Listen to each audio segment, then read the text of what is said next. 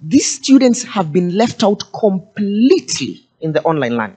Now, this person gives us in our survey says, look, you have lockdown in Nairobi. We are out of Nairobi. We need material to learn. That portal is not for us. So we literally need physical material. We have to spend our own extra money out of the fees and everything we have to make. For example, if you're blind, to have that interpreted in braille and brought to you outside Nairobi because you can't even enter Nairobi. And you're expected to learn and undertake these assignments and listen, just like all the other people who are online. And I think it's, it's shameful for us to do this to our members of the society who are really, really, really eager to be part of our legal education. It is terrible. It really, really, you know, you know, hurt me so much uh, that that we have left out our, our our our students with disabilities in our online uh, learning, and and there is no even much input in terms of of the law schools themselves in terms of catering for this demographic, and this demographic is growing so much over the days, and so now I get towards the end, and this is library resources, and this is where we I we really had a, a big problem. And in library resources, you notice that the online subscription of, of materials online by law schools was not very good. In many law schools that we even asked in our survey, LexisNexis is not even part of what they can access online. And so we said, why don't we look at the financial statements of universities in terms of how much they allocate to library resources? Unfortunately, when, when most of the universities we looked at, and we couldn't tell what is allocated to library resources in terms of online resources from the library because the financial statements just write a single, you know, figure of what library is buying in terms of books, and, and it looks like both e-journals and and and and physical books are listed as one uh, item, and so we couldn't tell.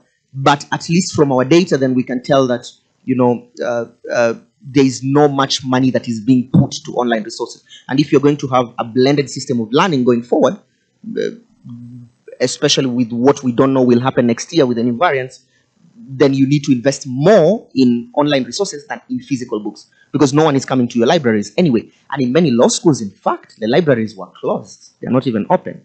So the access has to be online. And so this is something. And so what do they, we think then should be, so the next slide. And this is where we, we want to go. So this concept of heutagogy is the concept of modern uh, adult teaching. And, and you see, you know, what we're used for is the pedagogy and the andragogy of, you know, teaching based either from the academic perspective or, you know, a middle of it. But heutagogy focuses on teaching uh, in terms of centered learn. So the, the learners should guide how the teaching should go forward. And a good example of a university that has adopted this is uh, uh, Oxford with their BCL program. They, they, they do this heutagogy teaching, and it's mostly a round table. So what a lecturer does, records a 10-minute video where he speaks about, you know, all the issues, major issues that he wants, sends it to the class. And then when he comes to class for the online teaching, instead of you know, sitting on a screen and talk, it becomes a, a round table discussion. Because they say uh, the University of Geneva and the Graduate Institute of Geneva jointly conducted a research that shows none of the students was willing to listen any further than 45 minutes for online learning. And so what they did for longer classes of two hours is after every 45 minutes, they cut breaks. So we think this uh, provision of heutagogy will, will go really forward. Now, lastly, as I conclude, uh, next slide, uh, is exams. Uh, and, and, and the reality is that exams will have to evolve. If your teaching has evolved, uh, your exams cannot be the same. Uh, and, and online learning is showing a lot of exams problem. You have a lot of exam malpractice. Uh, you have uh, either either students, you know, getting people to write for them, or you know, this open book, and that's why I put this meme here. You know, when you are doing physical exams, you get 29, but when you're doing online exams, you get 92 every time. Because so more of open book exams and more of what Morris Oduor and Tom Ojienda argue of clinical legal education in terms of testing. So our our suggestion is that increase the marks for oral exams, maybe at the Kenya School of Law, to maybe 30, and you increase also the marks for the uh, project uh, exams to maybe 30, and then you reduce now the marks for the sitting exams. Because then if your mode of teaching has changed, your mode of examination cannot also be the same. It's just it's just logic that you know you put in these sitting exams, non writing, and your mode of teaching is different. And lastly, is we looked at India as a, uh, as a comparative. Uh, so next slide, as a comparative uh, area which has has has has has undertaken, you know, uh, uh, uh, developments of legal education training in in terms of, and we chose India because of this. We didn't want to choose the US or the UK because those are developed economies. So you want to choose something that is more local, you will understand and you will relate to easily. And India provides, you know, the best. It's an extremely good legal education system. It, they have some of the best academics and lawyers that you find today. And so the Bar Council of India has developed, you know, guidelines for universities. In fact, the Bar Council of India say, said that the students would graduate even without doing the exams. And what they said is, if if we are unable to offer the exams as they were, then what we can do is we can go for the pass or fail system. Yeah. So if, if for example, you give a, a, a cut and, and you determine that in terms of pass or fail instead of, of grading in terms of numbers. They also told, you know, Uh, um, uh, law schools to provide, you know, periodical reports in terms of how to do that. So our recommendations are, which is the next slide, our recommendations, you know, are we think that, you know, while we've done this research, we think there is need for more research. CLE and law schools should engage in more research in terms of, of looking and studying how to improve. And this research must involve both students and academics. It cannot be one-sided. And then CLE must provide, you know, clear guidelines of blended learning because the reality is that next year things will not be the same. And then we also think there should be more emphasis on students with disabilities. Uh, academics and uh, law schools should find more attractive uh, areas of teaching and uh, also traditional ways of exams. So those were our, our views and our, our, issues. We'll be happy, to, you know, to share our data and our survey. Uh, we still, I'm still trying to, to map out more graphs and, you know, getting into the nitty gritties of, of the minute details of, of that survey. So thank you very much and uh, uh, thank you for listening. So last slide.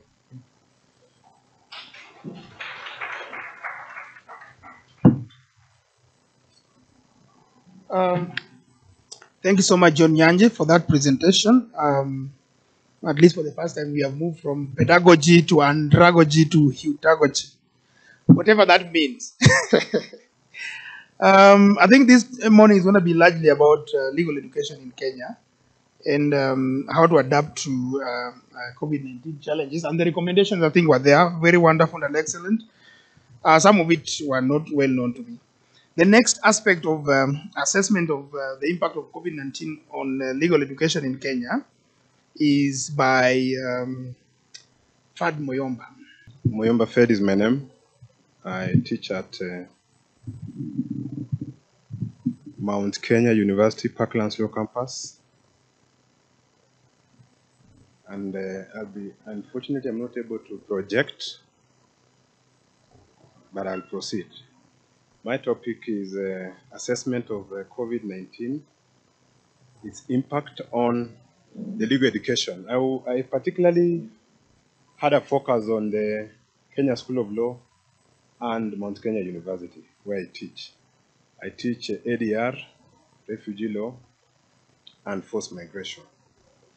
The aim of this uh, paper was basically to assess uh, how are we affected, not just uh, the university, but staff and students.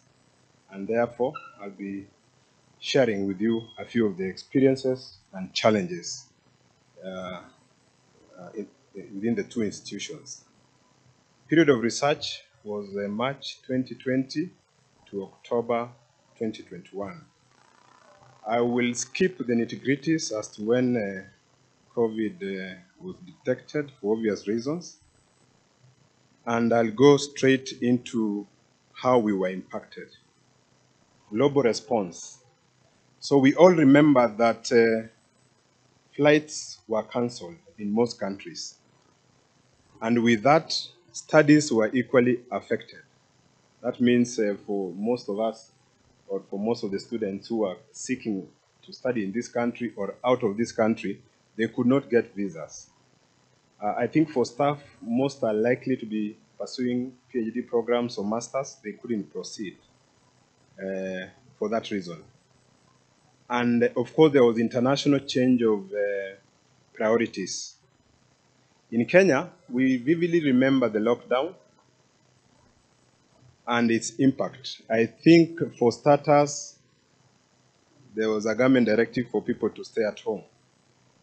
By that, we all uh, had to just be at home and do nothing. So I think uh, that to some extent impacted ideally everyone within the sector. Curfews followed, cessation of movement, learning institutions were among the first were among the first to be affected. Then there was the introduction of uh, what the government called containment guidelines or rules, which required strict implementation of, of, of among other things, physical or social distancing. Now, if you come from a university, especially give an example of a public university, where number of students is huge, KSL in mind, you can imagine that uh, the challenge the campus had to go through to make tough decisions. In fact, in my research, uh, Kenya School of Law was among the institutions that were greatly affected. They took almost the longest to make very uh, tough decisions on the way forward, mainly because of numbers and uh, compliance. Mount Kenya, what was the response?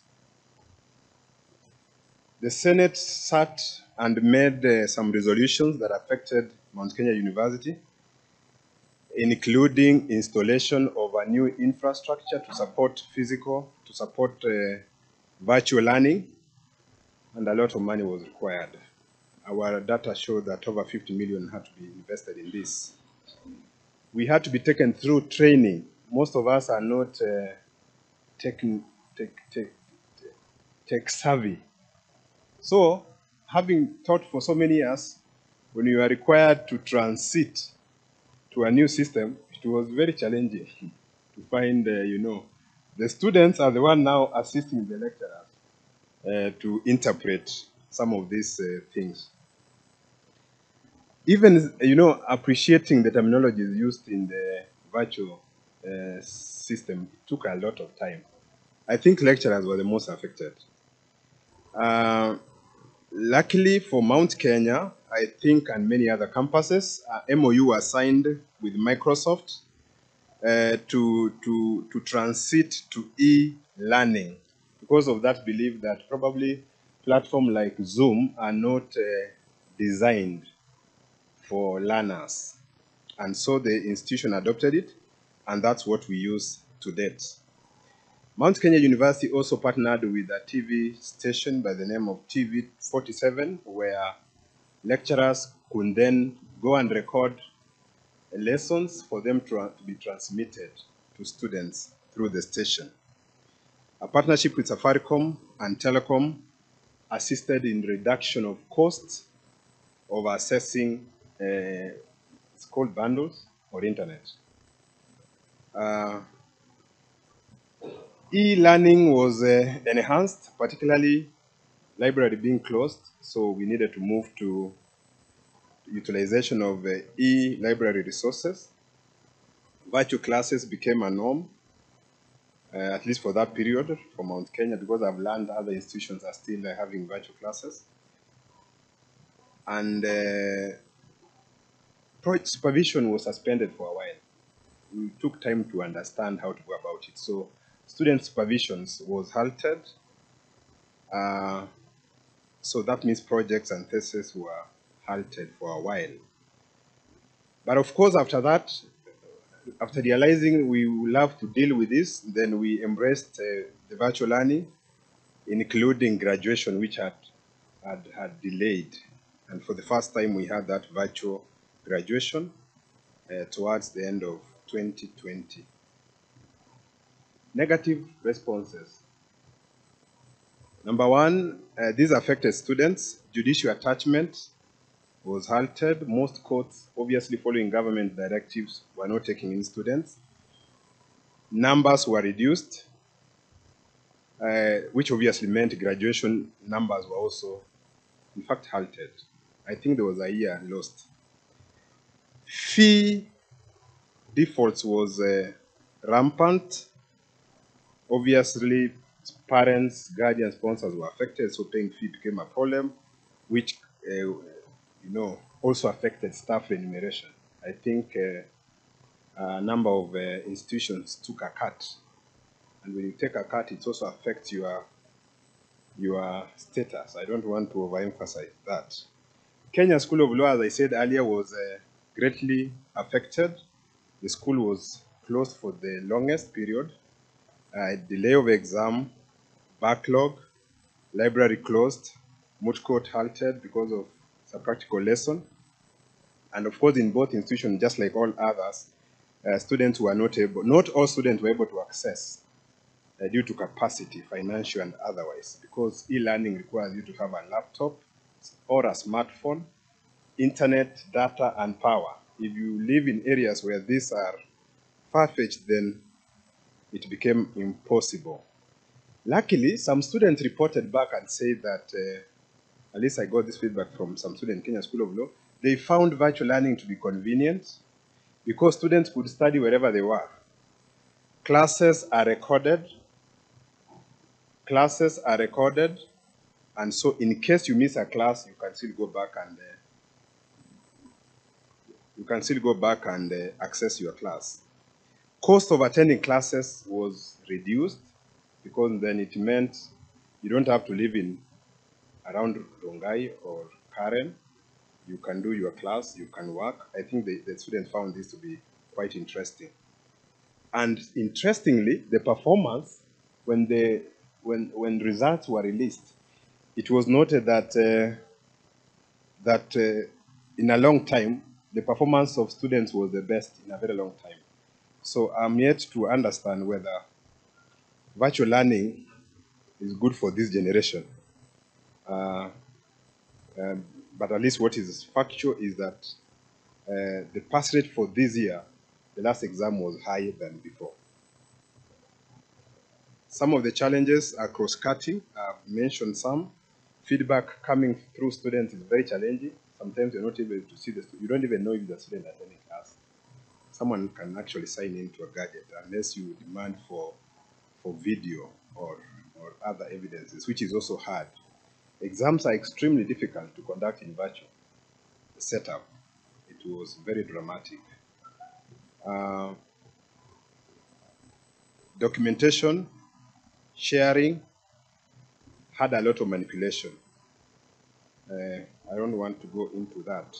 Tardiness in class, difficulty in tracking concentration is power cuts, shortages, etc. was a cross-cutting challenge. I think for our reverend reference, uh, I talked about uh, uh, cross-border closures.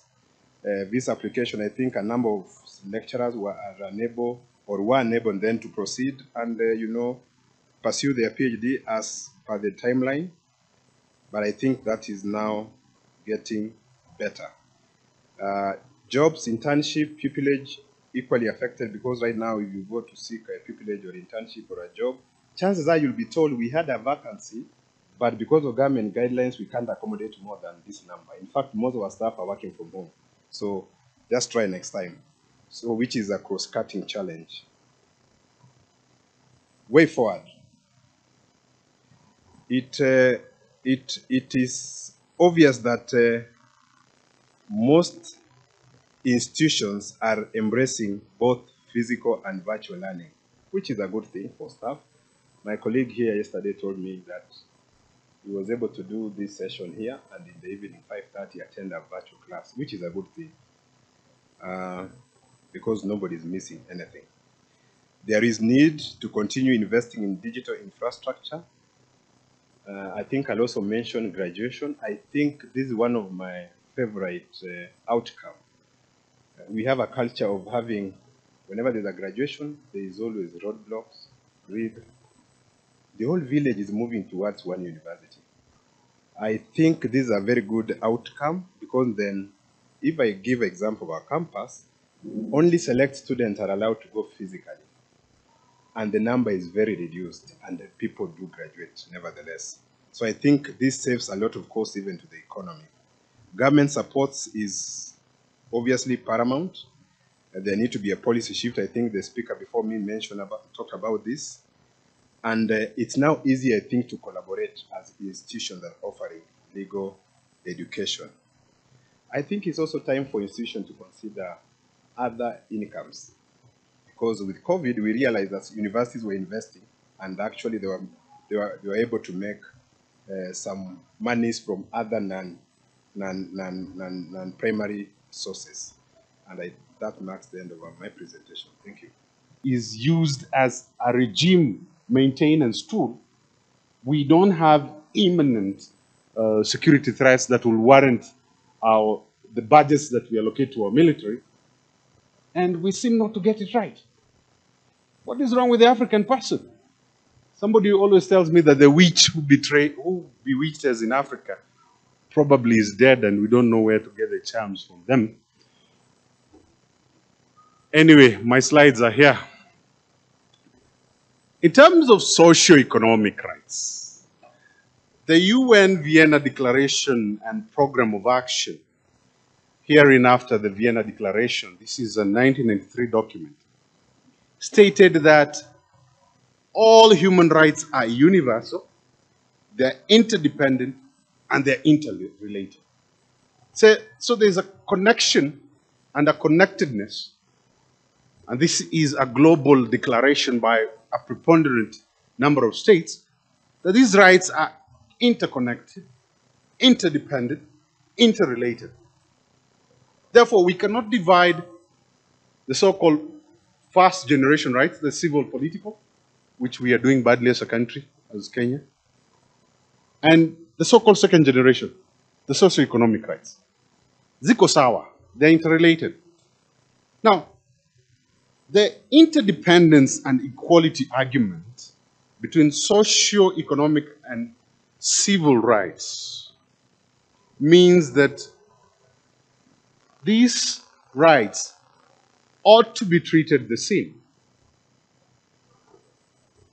And I have stated that even with the so-called first generation rights, the civil political, as a country, Kenya, we are doing badly. And this brings us to the context of our analysis whereby we are looking at the case of Kariobangi Sewerage Farmers Self-Help Group versus the Cabinet Secretary Water and Sanit Water Sanitation and Irrigation versus others. This was an, an Environment and Land Court petition number 11 of 2020. Briefly in context without the English, the too much English. This was a case by indigent persons around the Kariobangi area of Nairobi and they were represented by my senior and good friend, Dr. Haminwa, and Caroline Odur. Caroline Odur is a, a, a, lady practitioner, very good friend of mine in Nairobi. So we had two sets of cases. And when they approached the court, because these um, persons had been issued with very short notices, was it one week, for them to uh, vacate. For the Haminwa case, uh, Justice Okongo on 3rd May 2020 issued orders barring the eviction of these threatened indigent people until inter-party hearing. Inter-party hearing for the non-lawyers means that until both sides are heard. So that's a court order, a valid court order.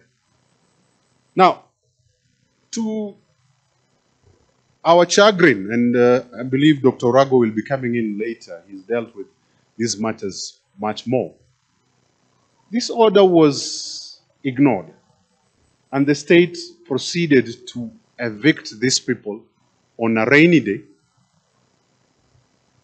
People lost their items, people were beaten up, uh, earth movers literally swept through uh, uh this um, informal uh, settlements uh, in the wee hours of the morning while people were sleeping.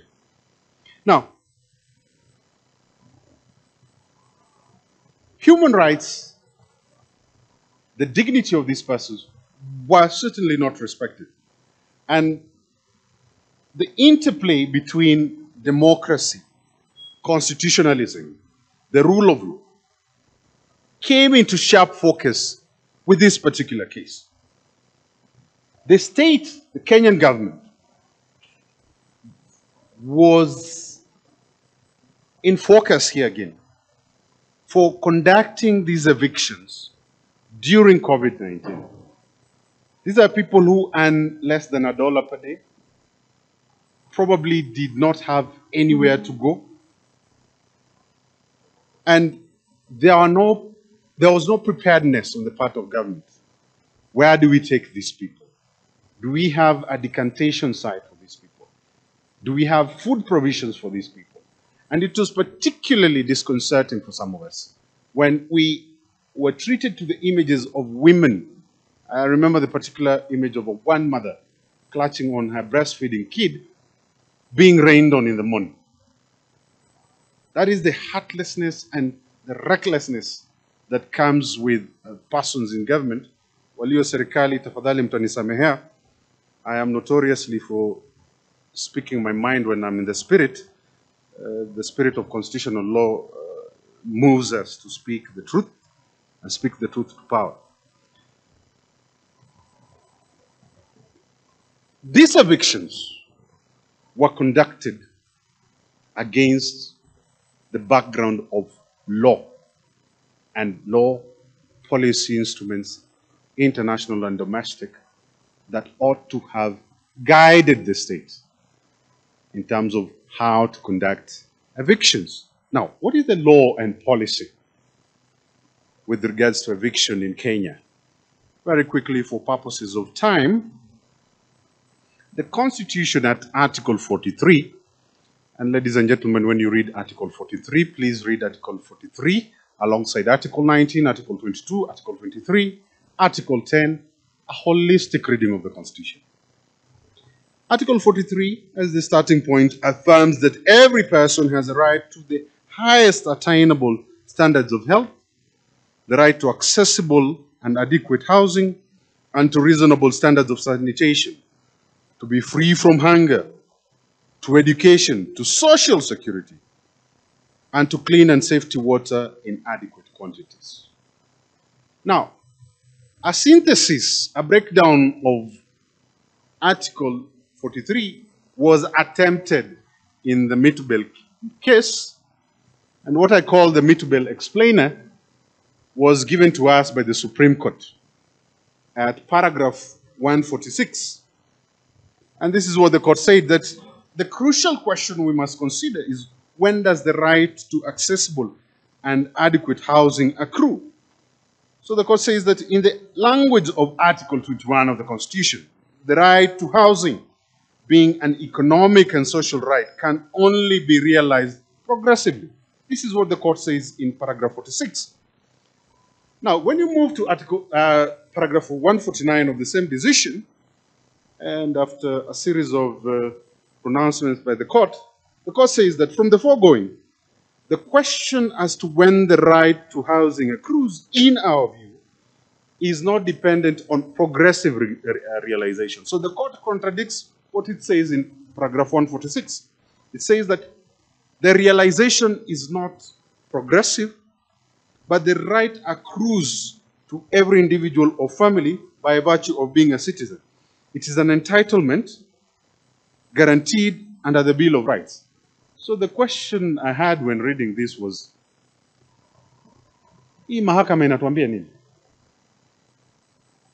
What is your position? Does it accrue by virtue of citizenship? Or is it progressive uh, in terms of realization? Paragraph 153, the court says that the right to housing in its base form need not to be predicated upon the title of land. And then the court proceeds to say that indeed it is the inability of many citizens to acquire private title to land that condemns them to the indignity of informal settlement. The court uh, touches a nerve, a raw nerve at 153. It was conservative in its language, but the truth that is captured under paragraph 153 is indeed there has been a neglect on the welfare component by the state that we have presided over an imbalanced state whereby the gap between the rich and the poor is astronomical. The indigent have not been taken care of. The informal settlements are mushrooming. And Professor Lumumba, uh, in our side uh, discussion, will tell you that what the government does is this. Those in government, please forgive us. Is that they come and pave roads. They supply a little bit of water here and there. And that will be called slum upgrading, slum improvement. So, in essence, you are giving some lacquer, some veneer of, of, of sprucing up on these informal settlements without addressing the core problem, and that is improving on the houses, the living conditions of the poor people in Kibera, Mukuru, Mitumba slums. And it's particularly concerning that these demolitions continue to happen. We have the latest in the transaction being the overnight destruction of Mukuru slums. I don't like that uh, term slum, so let me use informal settlement. The destruction of Mukuru settlements without giving these people alternatives. Now, where the government fails to provide accessible and adequate housing, the court says that the least it can do is to protect the rights and dignity of those living in informal settlements. It is not happening. The latest in the installment, again, I said, is the Mukuru case, where two weeks ago people were uh, swept out of their houses, schools brought down, clinics. Now, for purposes of this discussion, these demolitions continue against the background, backdrop of recent amendments to the Land Act, Section 152B and 152C. And these amendments uh, say this. Article 1, Section 152 says that an, an unlawful occupant of land, be it community, be it public, be it private, can only be evicted in accordance with the procedures in the Land Act. What are these procedures? Under Section 152, ladies and gentlemen, the National Land Commission shall issue a notice in the Kenya Gazette, local newspapers, and in the media, and give at least three months' notice before evictions are carried out. The National Land Commission can then pursue eviction upon the expiry of the three months' notice. That is for public land. In terms of private property, the process begins with the property owner or the agents issuing these unlawful settlers an eviction notice of again three months all other people, all other people affected should also be served with this notice. The notice should be widespread. Now, in addition to serving these notices to these people, these notices should also be filed in newspapers and should be followed up with radio announcements. We are all Kenyans. Do we ever see these notices? Apart from maybe the National Land Commission? No. You will meet police officers come to your property, accompanied by our good friends from the Ministry of Interior. Police menacingly coming and clobbering people in the morning. And that is the norm. Notices are usually not circulated properly. The, the, the notices should be in the national language, Kiswahili, and should be shared with the Deputy County Commissioner as well as the OCS or the police division in the area. If this happens, I am not aware. Now, in terms of community land, that was in terms of private land. In terms of community land, the county executive in charge of land should issue the notice. And again, it has to be in the Kenya Gazette, it has to be in uh, newspapers, it has to be followed up with uh, uh, radio uh, announcements, and this should be in local dialect. So if you're carrying out uh, eviction in Murang'a, Ah, Kangema, you should be communicating to these people in Ekoyo. If you are doing it in eh, Yala, you should be doing it in Dholuo. If you do it in Baringo, where my surrogate father, Mr. Rotich, comes from, you should be doing it in Tugen and explain to them that an eviction will happen in three months. Now, these procedures are quite elaborate and they replaced what we call the eviction and resettlement guidelines of 2009. The eviction guidelines of 2009 and these procedures suffer the same consequence. They are not respected. We go to court as lawyers. We seek orders on the basis of these uh, uh, uh, procedures. Those orders, again, are not respected. A comparative experience. What happens in other countries? For purposes of time, we are supposed to be looking at Colombia and other countries, but for purposes of time, we'll limit it to South Africa. Now, the process in South Africa, due to its colonial uh, apartheid past, is a little bit more dignified. It's sanctioned under what they call the Prevention of Illegal Eviction from an Unlawful Occupation of Land Act. That is euphemistically called the PIE, P-I-E. Now, PIE draws from Section 26.3 of the South African Constitution. Now, what does Section 26.3 of the South African Constitution say? Section 23.6.3 says that nobody will be evicted from their home or have their home demolished without an order of the court made after consideration of all relevant circumstances. Please note the language of 26.3 the South African Constitution, that nobody will be evicted unless you are accompanied by a what? A court order. So court order sio gazeti ya kufunga nyama. Court orders sio gazeti ya kusoma. Those of you in government, private citizens, a court order is authority. It sanctions. So under the, in the South African context, you have to get a court order and that flows directly from the constitution. Now, in carrying out an eviction, the special, the relevant circumstances through interpretive processes, uh, 26.3 as read with PIE, you have to give special considerations to the rights of the elderly, children, disabled persons, and women-headed households. So, for example, before you go to Mukuru, you go to court, you make your application for eviction. The court is required to look at the circumstances, the relevant circumstances. Do we have elderly persons here? Do we have the disabled? Do we have children?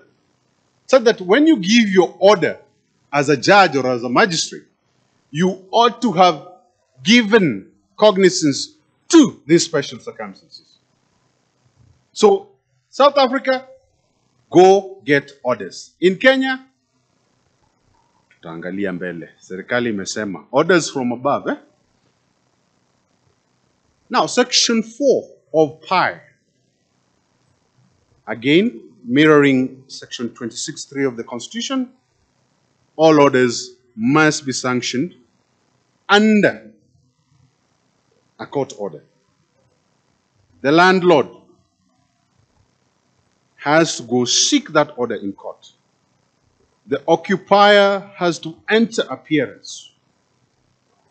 Uh, it's quite an elaborate and lengthy procedure. I will not go through it, but what you need to know under PIE is that the indigent, the poor people, are entitled to legal aid. So if you're a poor person and you're facing eviction, you've been served with a court with court processes. Under PIE, you are entitled to legal aid. And we have quite a number of law firms and civil society organizations in South Africa that are giving uh, poor people uh, services, legal services, pro bono, when faced with illegal eviction. Now, the jurisprudence uh, around eviction in South Africa is quite rich. I will mention a, a number of cases. Now, we have the case of Ngomane and others versus the city of Johannesburg. This is one important case in terms of eviction orders. We have another case, Gees provincial minister of cultural affairs and sports, Western Cape and others. This is a 2017 case. G is, G is spelled as G double E S. We have another case, City of Johannesburg, Metropolitan Municipality versus B, B is BH double E, Moonlight Properties, PTY Limited, and another. This is the 2012 case. We have another case on Ndlovu versus Ngcobo. Ndlovu versus Ngcobo is a 2003 case.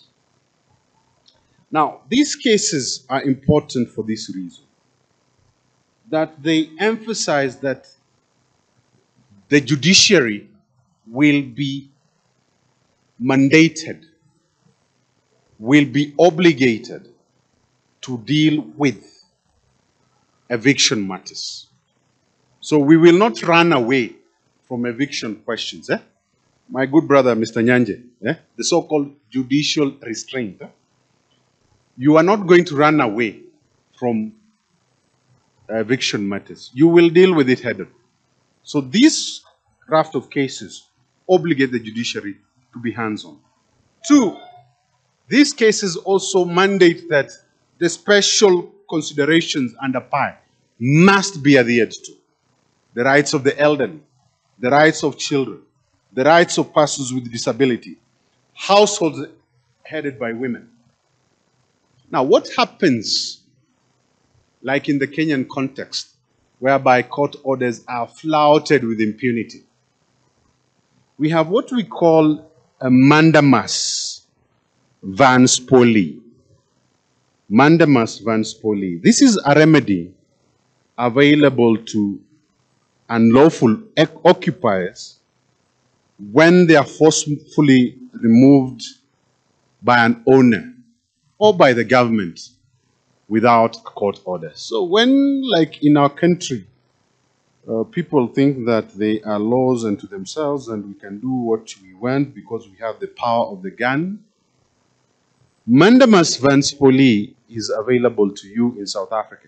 So that if you lose items in the context of eviction, the remedy of Mandamus van spolie, a common law remedy, will be available to you. And you can read the case of Sewelope. So, sorry, Sewelopele. Um, this is South African word, forgive me. Sewelopele non-profit organization versus the city of Tshwane Metropolitan Municipality. Sewelopele non-profit organization and others versus the city of Tshwane Metropolitan Municipality. This is a 2007 case. In this case, the court ordered the municipal government of Tshwane to replace items lost by victims of illegal eviction. So you come and my items are lost, you will compensate me as government. What a beautiful place to live in. The Constitutional Court in South Africa has also waded into this issue. You will read this in our paper. I don't want to go through it, but you will look at it when uh, we analyze the case of occupiers of Avon uh, Berea versus De Wet. This is a 2000 case. And basically, this case and the case of the mayor of Equatini basically emphasize personal accountability of municipal and state uh, government officers. So that if you come and evict people contrary to orders issued by court.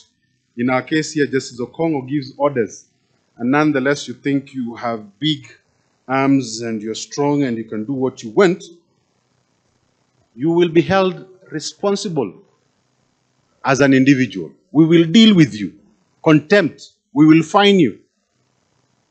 And this is perhaps a deterrent measure for government officials who hi- hi- hide behind the so called orders from above. In summary, if we make a comparison between the South African and um, uh, uh, Kenyan context, in Kenya, the eviction is an admin- administrative procedure. The National Land Commission, the county commissioner, or the individual owner issues the eviction order, and after the lapse of the three months, you can proceed to evict. It's, it's a little bit of a gray area in terms of do we need to go to court? I'm told my time is out. In terms of the South African context, it must be sanctioned by a court order. Failure to abide by the procedures under the PIE Act may lead to fines and criminal sanctions. So that is the distinction between the Kenyan context and the South African context. Ladies and gentlemen, the discussion is much more. You will look at it when we do our final paper. Thank you very much. For myself, I'm Professor Lumumba.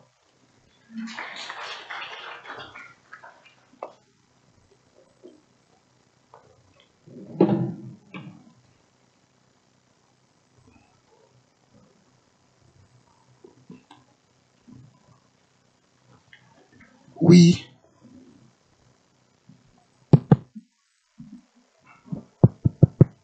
I think this is the time to open up uh, the discussion for a few questions before we break up for tea.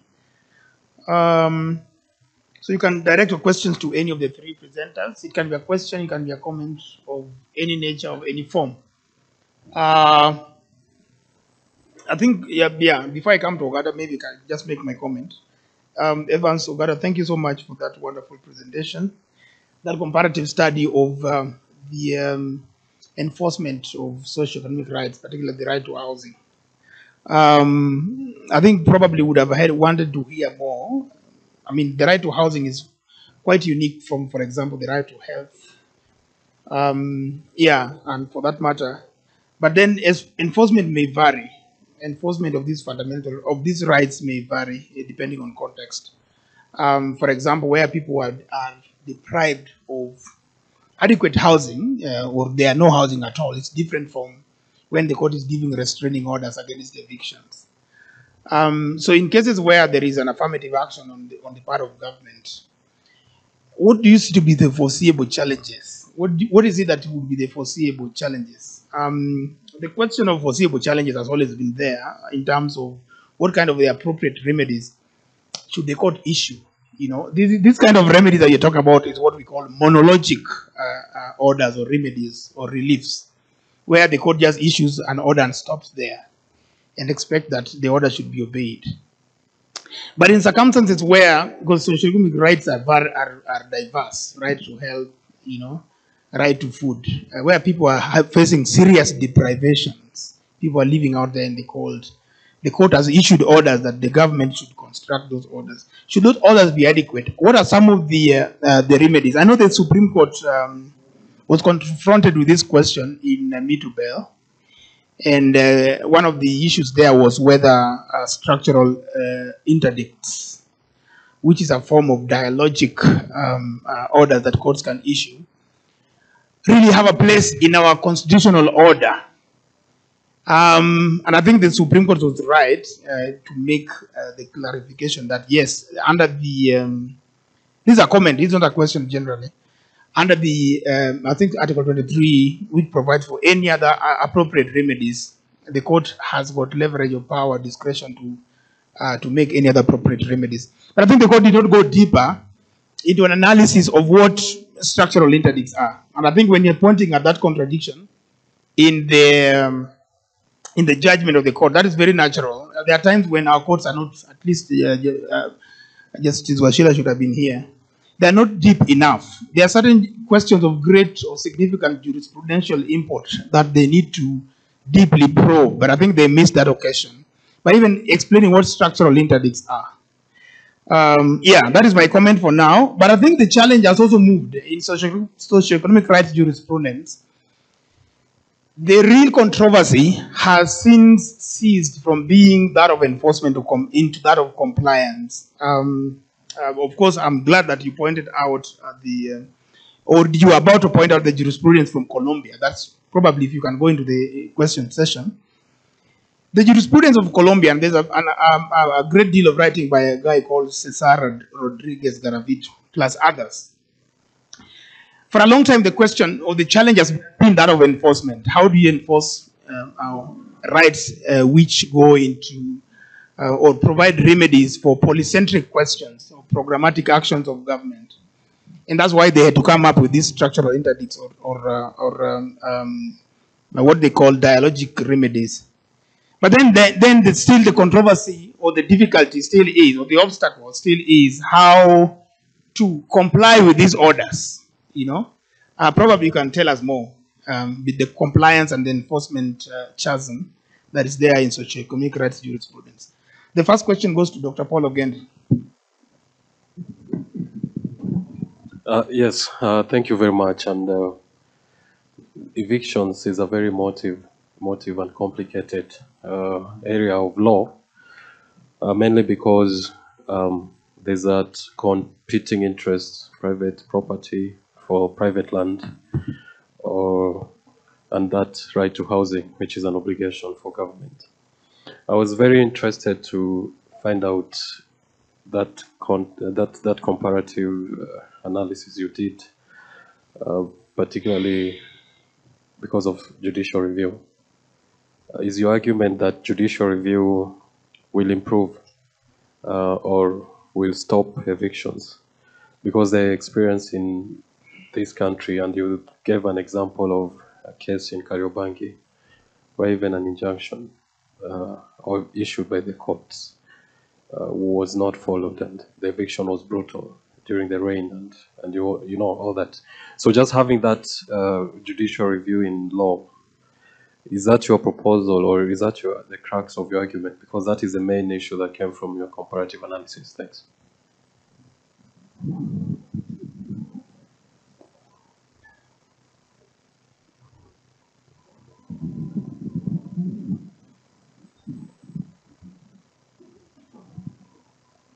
Uh, thank you, and good morning, everyone. Um, so, um, my question is directed to my learned senior, John Nyanje, who gave quite an, an elaborative, um, you know, discussion on um, the impact of COVID-19 on legal education. And this is very interesting to me because I actually uh, did the same uh, uh, discussion, which I'll be presenting later. But um, I'd just like to hear his views um, on what approach he would believe or he would think um, Kenya should adopt uh, in terms of uh, the effects that it's seen in the current legal education dispensation. Basically, what I'm asking is we've seen that COVID 19 has been a crisis uh, in terms of legal education. You've talked about the quality of legal education, but we've also seen that COVID 19 has led to an opportunity for technological in- innovation in legal education. We've seen online learning that you've talked about. Um, but I felt like your paper was more, or your study was quite uh, more shifted towards the negative impacts of COVID 19 uh, on legal education. So, would you, would you, uh, you know, would you argue that COVID 19 has actually expanded the opportunity to innovate or to, to you know, elevate legal education in terms of technology? And do you think Kenya should try as much as possible to improve on technology and that we should embrace these technological in- innovations in legal education? Or would you suggest that we should go back to the traditional methods of teaching and that COVID 19 has actually led to deleterious effects to legal education and that we should stop these online methods of teaching and that we should embrace those traditional methods of teaching because the quality of legal education has been impacted. So I'd just like to hear your views on which approach you'd rather uh, adopt. Thank you. Um, there's a question here.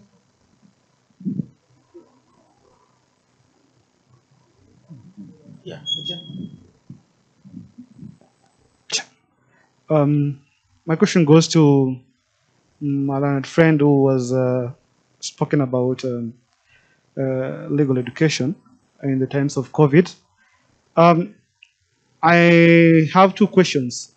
Um, what is the quality of uh, education, legal education, um, when we go through online? Does the quality deteriorate or, uh, according to your research? And another question is um, the, the, the question of justice or uh, equality when we are uh, shifting our learning to the online uh, mode because not all of us have smartphones or uh, have access to laptops or personal computers or uh, even internet. Um, so did you get that there is an injustice that arises when we go to the online mode instead of the physical mode? And so how should we deal with that? Thank you. Uh, let's take one last, then we will deal with others in the next round of questions.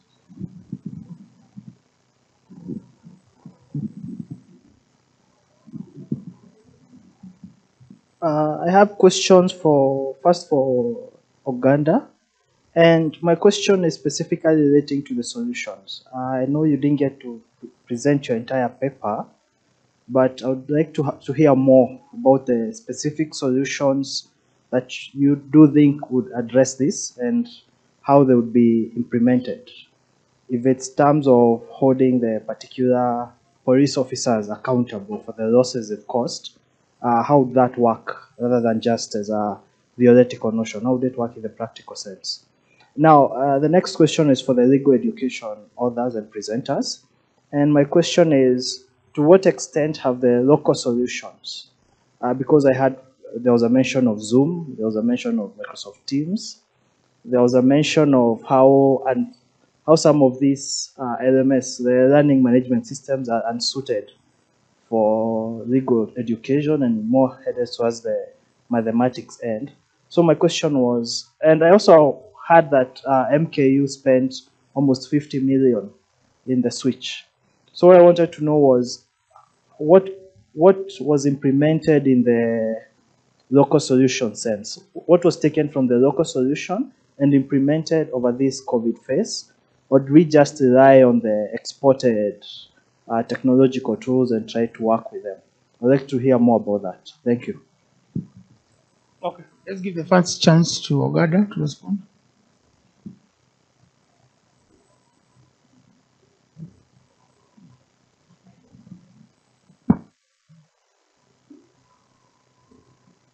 Allow me to start with the first question first. The practical, um, for us to go to the practical, away from the lofty theory. Uh, if you gathered from the tone of the presentation, we moved away from the theory, we were talking practicals. Now, in terms of the way forward, we need to have a serious national dialogue. When I started out, I spoke of Costa Rica in the 1990s doing away with its standing army and redirecting the resources to social welfare of the citizens. The problem with African countries, Kenya included, is the neglect of the social welfare capacity of the state. In Scandinavia, uh, because they have a much deeper social uh, welfare culture, taxes will go up to 60, 50%. But that deduction in terms of taxes is complemented by government meaningfully providing for the social com component of the state, and nobody quarrels. So we have neglected it. Do we need to be recruiting uh, soldiers every year? And in Africa, the military is for regime maintenance. We need to ask ourselves, do we need the 40 plus county governments? And some of the counties are small enough to be uh, villages. Do we need a huge bureaucracy in government? We can downsize that and prioritize our resource allocation to what matters. Our people cannot live worse than horses, worse than animals, live in conditions deplorable, worse than pigsties. And yet we call ourselves a government. Eh? Dr. Paul Ogendi. Judicial review is a check and balance scheme. It is only one of those methods towards the re realization of dignity as captured in Article 10 as a principle and or national value. And principle appears again at Article 28 as a constitutional right. So a multi-sectoral involvement will demand that in addition to us having that national conversation and reassessing our allocation as a country to what matters in terms of priority, let us have the judiciary coming in through judicial review, structural interdicts, and other rem remedies that can be conjured through Article 23 of the Constitution, for example. And Mitu-Bell uh, touched on it. So it's a broader multi-department conversation that needs to be had with governments and must involve the citizenry. If we have to stop this uh, bad habit of evictions and the neglect of uh, the welfare component. Thank you. Uh, so thank you very much for your questions, my brother uh, at the back here. Uh, this is my response in a very simple way. I, I don't clap for authorities that do the bare minimum. So I will not, you know, spend a lot of time in my research paper, you know, saying uh, universities have, you know, they put technology which is important to them. In any event, they were supposed to be doing this ages ago, and they waited for the pandemic. So I, I don't find it useful in my paper, you know, spending time saying this is what works and this is good for universities, which is something they should have been doing. The issue here is to highlight what is problematic about that online teaching and, and express it. I'm not saying there are no good things about it. But those good things, if you think about them, are things that should have been done a long time ago. And so I didn't find it useful. And maybe, you know, it might be seem negative, but that's the truth. Because why would we spend research time and resources saying this works? Uh, you know, a small part works what is the effect of that research then, if, if, if, if it is, you know, impacting on it? Because universities and law schools had to have partnered with technological companies before the pandemic. It is, it, it is, it is just logic. Many people do it out there. Tech companies are always, you know, building new partnerships with law schools for building new treaties and agreements in terms of, you know, technological advancement and teaching and, you know, encouraging a lot of innovation. This was not happening until the pandemic. And I don't think this is, you know, something, you know, to, to spend a lot of time in writing, praising universities for it. And that's my opinion about it.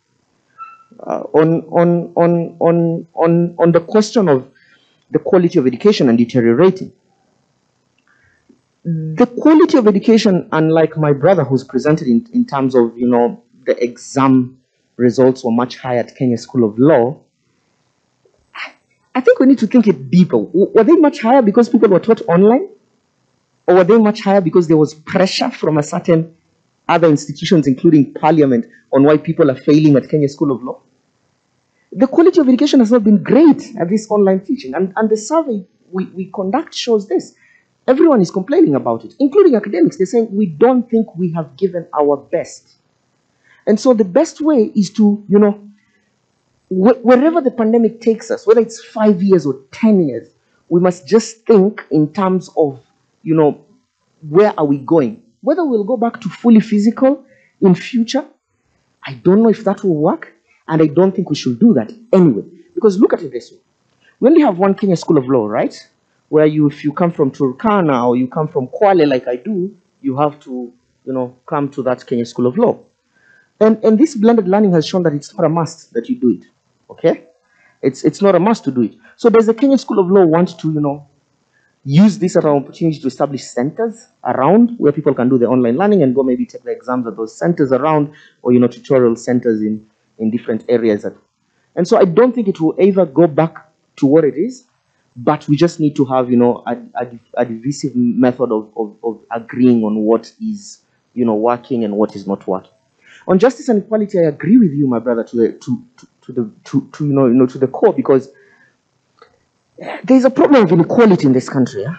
and it's and, and the and the, the gap in, in terms of the have and the have-nots in this country is huge, and this goes to the nitty-gritties of even the legal education education training. You have law schools in this country where students go to the Nuremberg Tribunal and and and the and the and the, and the PCA at the Hague. Uh, and and and uh, and Villa Monnier in Geneva to see how the WTO works and there are students who, who, who, who don't even go to, to, you know, to parliament in law schools in Kenya. Uh, and the gaps are, are, are big, and we know those schools, right? And, and this is, is something that, you know, we need to, to, to relook it in terms, because these who are going to all these Nuremberg places, they, they have the chance to, you know, to engage in all these technological advancements and have all, you know, all the success. And I mean, look at it like I was saying. There's student, law schools that don't have even access to LexisNexis, one of the most basic research, you know, engine sites. And then you have schools that have access to, you know, all all the thing, all all, all what they want. So the, the, the inequality gap is a problem. It has to be filled.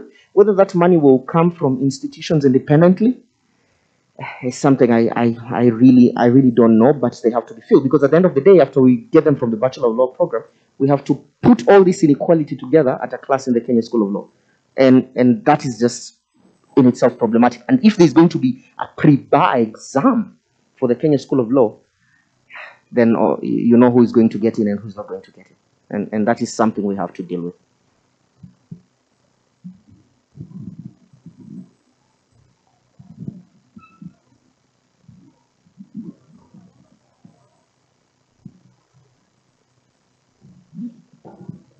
Thank you, Moyomba Fed uh, from Mount Kenya University. I'll address, uh, I believe, three questions. Quality of education during COVID, I'll say it dipped, but as we stabilize, it will improve. I do not believe the, the reduction was because of uh, necessarily COVID, but because of accessibility of gadgets and utilization of the same. If we as staff are not familiar, we will definitely not be able to utilize the facilities well. But uh, as you expect, whenever a new program is introduced, there'll always be some, some challenges. Uh, one campus in particular, student protested when the university was reopening and they, they said we shall reopen virtually. The student actually protested. Is there injustice in lack of gadgets? Definitely yes. It's the duty of some stakeholders, be it government or institutions, to find mechanisms to ensure all students it admits have access.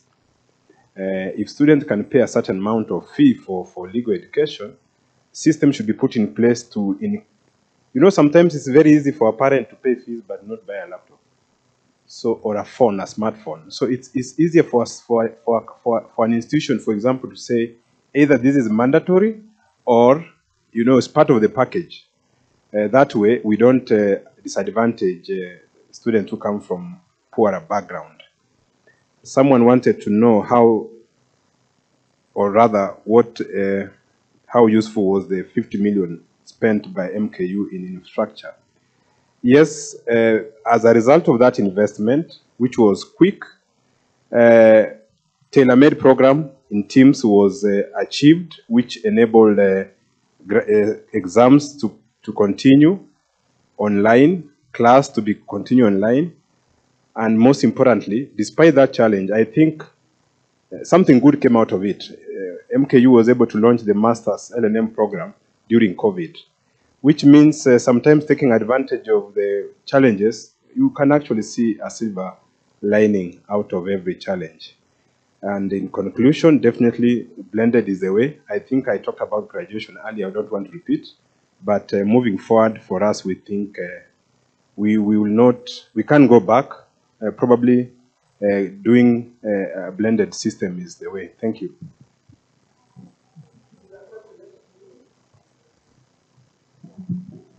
Um, my question goes to my, my teacher at the University of Nairobi, Evans Ogada. And during your presentation, the perception that I got was uh, it was rather a sympathetic tone and uh, largely came out of a view that uh, people being evicted or that the evictees were victims, indigent victims.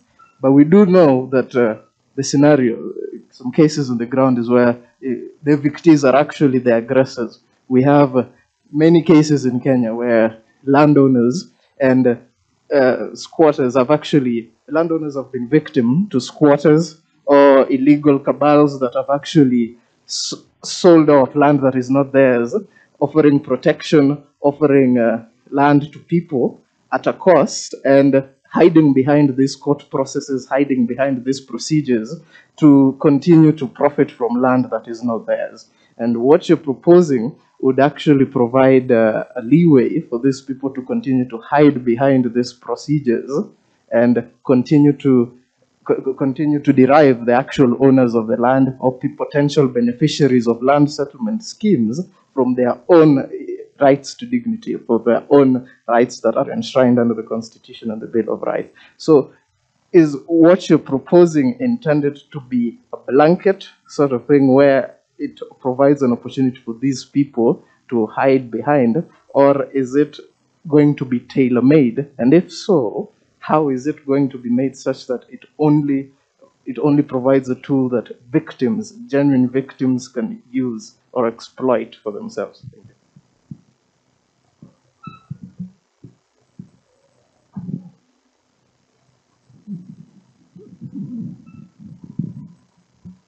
In addition to what the last speaker just said, Ogada, you you you have some thinking to make. Um, sometimes you find evictees in public land who actually plan to acquire rights, as he says, on that public land, and they go and settle there with their families. And even if they are given notice, they say they have nowhere to go. So wanakuwa na kichwa ngumu.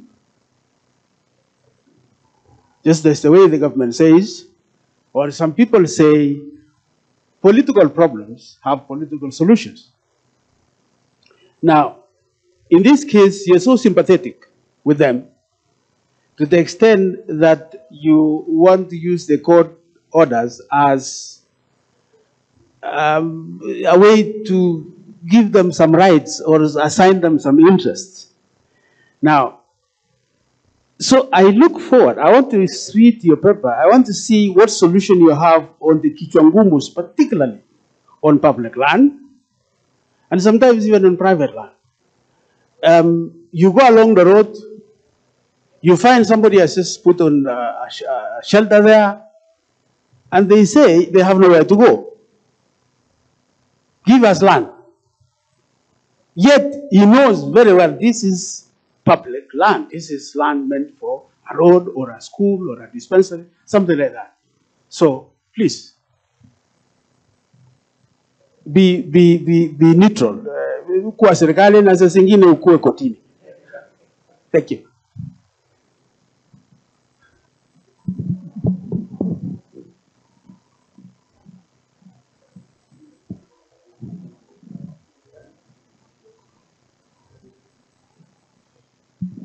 So I have a question for Gada.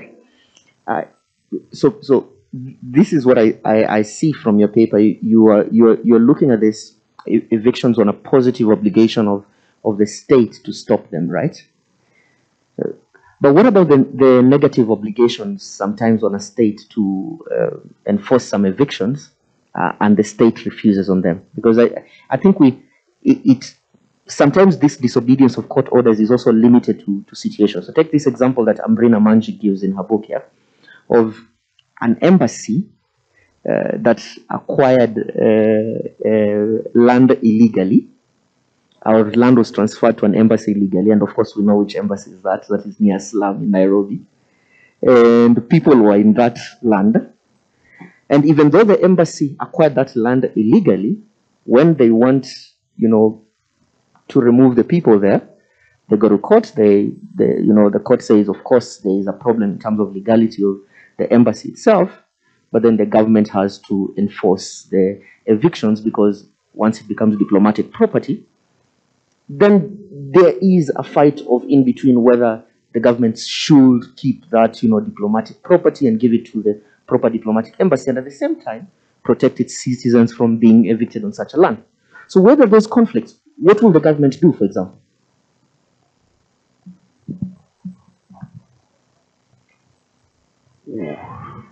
Uh, my brother, I happen to have taught you. Remind me your name.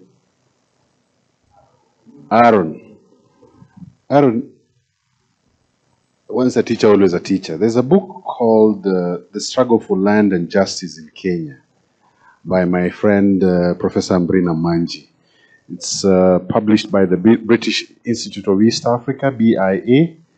Uh, if that book is available, if it's not available, let me know. It's a must read for anybody who wants to understand the land question in Kenya.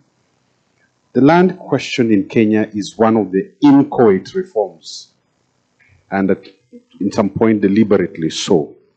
It's been frustrated by the interests owners in this country.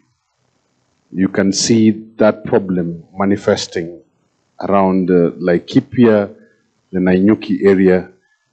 We placed some band-aid solution on that question, but it will fester on. We need to address land. And part of the solution that the Constitution envisages is equitable sharing of land resources in this country. We have a bill that has been pending for quite some time, the minimum and maximum land holding acreage uh, bill 2015. There's a reason why that bill has stalled where it has stalled, because certain people do not want to respect the equitable sharing of land in this country. So let's start that conversation from there. Now, in terms of the indigent and the poor, I am not saying that the court will always shelter those that are trying to flout the law, those that are trying to illegally occupy and illegally acquire land. The court process, and to use language favorite with my brother Maxwell Miyawa Daktari, the court is prophylactic. It's a stop, step, it's a stopgap measure so that we don't descend into anarchy and brute force that can be exhi- exhibited by African governments, the court mediates the process. It ensures that dignity and proper sanity is respected when we are getting these people out of land. So that we don't have baba, we don't have police boots on your neck in the morning. Eh? Bibi yangu siku moja umepata she's naked, she's hounded out of her bedroom in the morning in the name of getting evictees out of public land. It's not proper. Let's have it dignified. And the court supervises it, gives it an order, like in the South African case. I hope I've answered the question. My brother Nyanje, in terms of the negative obligation, I think I've responded to it.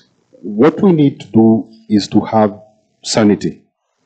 There are procedures under 156 uh, under the Land Act. Let's just follow those procedures and bring in some more with uh, the spirit of the Constitution informing this, perhaps bringing in the aspect of court sanctioned orders. We will have sanity so that we avoid this brute gang ho force exhibited by government when it comes to eviction. Dignity of the people. Thank you. Thank you so much. Um, I, I would try to utilize the 15 minutes. I work in the Ministry of Interior and uh, listening to the previous presentations, um, we, I am part of the duty bearers that we've been talking about and uh, let me say that uh, when COVID-19 came in, I was stationed at the County Commissioner's Office, in Nakuru. I'm specifically the one who was issuing travel documents. So you can imagine we have over 2 million people in Nakuru, 2.1 million in Nakuru. And there are those people who are going for medical services in Nairobi, in Moi Referral Hospital. So I used to issue, and it would be very hectic. So COVID 19 came in. When people went home, I've heard people saying we were working from home. It became very hectic for us because of the programs that were running, we were implementing them. So it was a risky uh, uh, point uh, because we interacted now with the, what happened immediately, what happened after, and what is still happening. So my paper focuses on operationalizing the right to social security as a strategy for rebuilding an equal and just uh, society in the post-COVID pandemic. And uh, uh, I want to welcome you in the journal that uh, was launched yesterday, my first paper on the role of national government uh, in AJS, implementing AJS policy was well presented last time, so I welcome you. When you access the journal, you can also read it, it is there. And uh, the human rights, as we have been told, and we know it's an entitlement uh, for every person. And uh, this has been severally mentioned in Article 43 of our Kenyan Constitution. And uh, it states that every person has the right to social security. And Article 43, 3 that uh, Professor Lumumba's uh, paper also stated, it is stipulates that uh, the state shall provide appropriate social security to persons who are unable to support themselves uh, and their dependents. We are talking about unemployed elder, elderly pers- persons. Uh, we are talking about uh, uh, we have vulnerable children, what we call OVCs, orphans and vulnerable children. And uh, social security systems are kind of a societal investment. You invest in the societal capital, whereby uh, you provide this, uh, what is required for the population, especially the masses. And in the 2001 International Labour Conference, social security was recognized as a vital part uh, of government policy to ensure social cohesion and peace. That explains why why do we have more mass revolutions in Bodeni, in Mukuru kwa Njenga, but not in Milimani? It's because of the needs of those people. It, it, it directly affects the peace and social cohesion. And in developed nations, social security systems, they cover people who are in need of form of assistance like loss of income, health, need to care for children, and we also have elderly persons. We have a lot of homes for elderly persons in those developed uh, nations. Move to the next slide. Inequality in the Kenyan uh, society, and uh, it during COVID-19, this now was a time to expose the gross inequality in our societies, whereby and, and, you understand in the first phase where there was lockdown for five counties, uh, those in Nairobi and Nakuru was affected. Kenya, uh, Kenya was not able to implement a full lockdown. Otherwise, if we if our social security net was good, it it deserved a total lockdown. There should no there should not have been any movement, inter-county movement, but this was not possible because our economy does not support that as at now. And uh, over 83% of the working population uh, is in the informal sector. The border, the, uh, the, the those people in informal settlements cover uh, 83% of our national GDP. What does that mean? These individuals survive hand to mouth, so they have to work, and uh, they have to work to get food for their families. And the impact of COVID-19 had serious ramification in the Kenyan society. Let me tell you, when COVID-19 came in, as I told you, we were left in the office. I would find women coming with their children to my office. And they are telling me these children have not eaten for two days. We have been locked down. We had cases of COVID-19 in our plot. The public health that came in and, and told us to isolate. And this is a lady, I remember one of them, goes to ni fua, anaenda kifua nguo, ndio analipwa. So the people in the rich environment were not ready to take these women. They are bringing COVID. You remember that scare. You don't accept even your gardener to come because he will come to infect your children. So they were left helpless. And they would come and we would start searching for where to, to get food for them. So these experiences of COVID-19 are a wake-up call, according to my paper, for the country to re- re-examine the social security system. And uh, this study sought, I, I conducted a study between 4th of October to around 14th of November. The, it sought uh, to explore the ways in which the country can operationalize citizen right to social security as a strategy to, to rebuild uh, an, uh, an equal and just society. Eh, specific objectives, I mean the next slide, uh, Moiruri. Specific uh, uh, objectives uh, as stipulated, ex- examine what are the existing social security programs in Kenya and what are the challenges in implementing them. Then, what are the strategies to enhance effectiveness in those programs?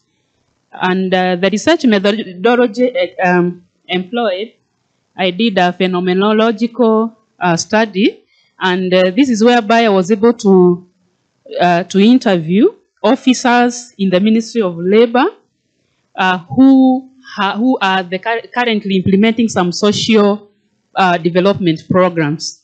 And these social development programs include like cash transfer for the orphans, for the elderly persons, um, and then uh, school feeding programs in some urban areas. We have NHIF is also a scheme, and NSSF. So I limited myself to that because of time, and uh, the, the, this uh, I was able to interview um, some officers from uh, Ministry of Social Services and the Department of Children's Services, NHIF, and NSSF. And uh, so, this, the, so this study basically examines the experiences of government officials who implement social security programs.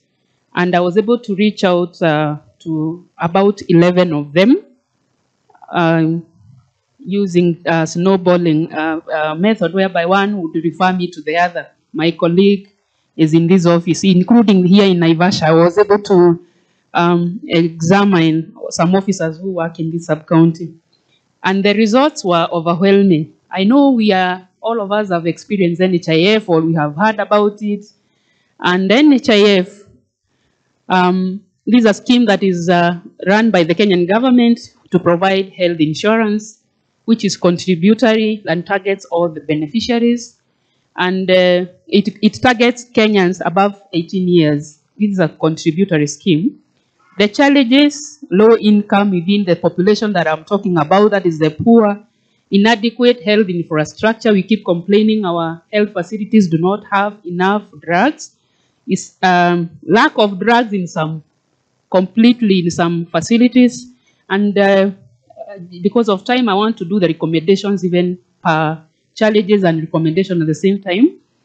And the, subs, uh, the recommendations for this, as got from the officers implementing, is sub- subsidizing. Like NHIF, you, you tell uh, Mama Boga who is selling nyanya in the market, is she able to contribute 500 per month? If not, can government come in and do part contribution on the same so that we can have universal health care, improve healthcare uh, infrastructure, um, then enha- enhance monitoring. Uh, NSSF, I was also able to visit uh, of- officers from NSSF and the National Social Security Fund. This one is a, a fund provided to employers and to workers, uh, to employees or workers. You, you know that some, some people lost jobs. Um, so they didn't have this scheme and they were also affected as workers. So the for former employees, NSSF is uh, compulsory, um, and the benefits paid on we have withdrawal from active work under the age of 50. Then uh, he has moved in, and my laptop is not okay. So uh, then you can actually get part payments, which is also acceptable. And I want to state that there are several challenges in the implementation of NSSF, like lack of awareness. Very many people don't really understand NSSF. And if they understand, they are not really able even to know how they can be able to digitally access to know the amount of contributions they have made. Uh, there is also negative perception. Some people say, why should I save for uh, when I retire? Very negative perceptions. But these are social security nets that, if well implemented, can be able to, to help uh, in cushioning the effects of COVID-19 and other pandemics. Competition from other schemes and low contribution amounts This is discussed in my full paper. And uh, for recommendations, I stated that uh, create awareness. Just move to the next slide. Uh, legislation, the other previous slide. So we, we, you create awareness, train contributors. If we are trained well, if we train the workers well, they will be able to, uh, to understand the reason for, for saving you could you could move next slide so that I can I don't want to move through all of them. Uh, cash transfer programs. I have five minutes. So the challenges is inadequate resource for cash transfer, delays in registering new members. You know cash transfer ni ile tunasema inua jamii, pesa ya wazee. And I think you've seen around even on the news how um, it's a good scheme if well managed. And if we have enough resources, uh, we have not been able to register elderly persons from 2017 because of budgetary issues. Um, recommendations are there. Number four you know, is on school feeding program, which has recommendations and challenges I've highlighted. Before my last slide, because I have three minutes, I want to show you a real picture of Kazi Mtaani. Kazi Mtaani came in immediately after in May last year. I think maybe if you work, if you uh, you pass by some of those slum areas, it was a, a, a program financed through Kenya Urban Support Program, whereby it was the government was channeling money directly to those people, those young people, those women who lost casual jobs when markets were closed and uh, they had to feed their children. So I want Wanyoike to kindly run through. I just want to give you a few examples from Nakuru town where I was involved. We had we employed 14,500 casual workers from the 11 sub-counties. And uh, it was a good, uh, during that period, although the, the, the, the program was suspended June this year because of budgetary allocations, it's now coming uh, up as a second phase. We had success stories. You could hear uh, a, a lady comes and tells us, I was a hawking. And when the market was closed, I didn't have food. The landlord sent me off because they were coming to our office. Then we would take that data through chiefs and the nyumba kumis. They would, oh my, don't let it go because I have three minutes and I want, I just picked a few so that I can go to my conclusion slide, such that we were able to employ them. They would be paid 455 shillings per day. They were paid every two weeks. And they gave us, after the completion of the uh, program, we, count, we recounted and we were able to record some of those success stories. And uh, the stories were overwhelming. Technical hitch, uh, Daktari, he just give me two more minutes, he opens up.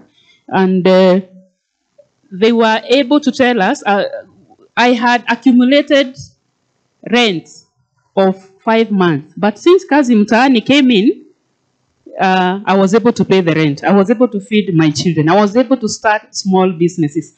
And those are just examples of what the government can do even going forward post COVID 19 to bring such. I don't know, as he, he opens, let me just go through what I have. But I wish, you know, you know in uh, adult learning, visual is more recommended than Yes, in adult learning, that is, uh, people need to see. They remember more. Adults remember more what they see than what they hear.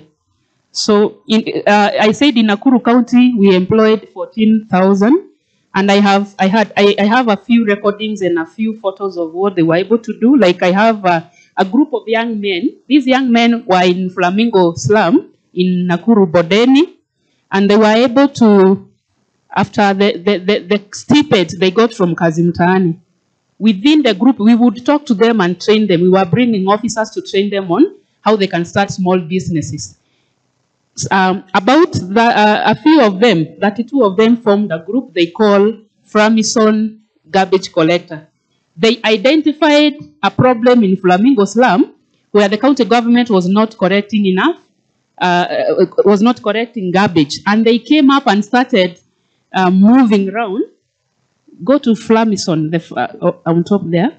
They were able now to come up with, to provide a solution to the community as they also get their daily stipend. And it is also, it was a multiplier effect. They get 455 paid by the uh, by through Kazi Mtaani. They form a group and they start cleaning a slum where they live. And this was welcome because the county government was not able to, to collect garbage. You can go to next uh, slide on uh, Joyce Wairimu is a lady who was a hawker. She lost job. Once she was paid the first 2,000 because they were 2,000 per week. They were being paid 2,000 per week. She started, she bought some detergents and she started mixing chemicals.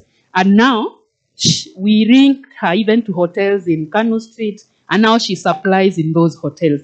So that's a sustainable way of how government can use this social security, um, uh, the social skills that these people in the rural, uh, in the urban setup have, even for better sustainability.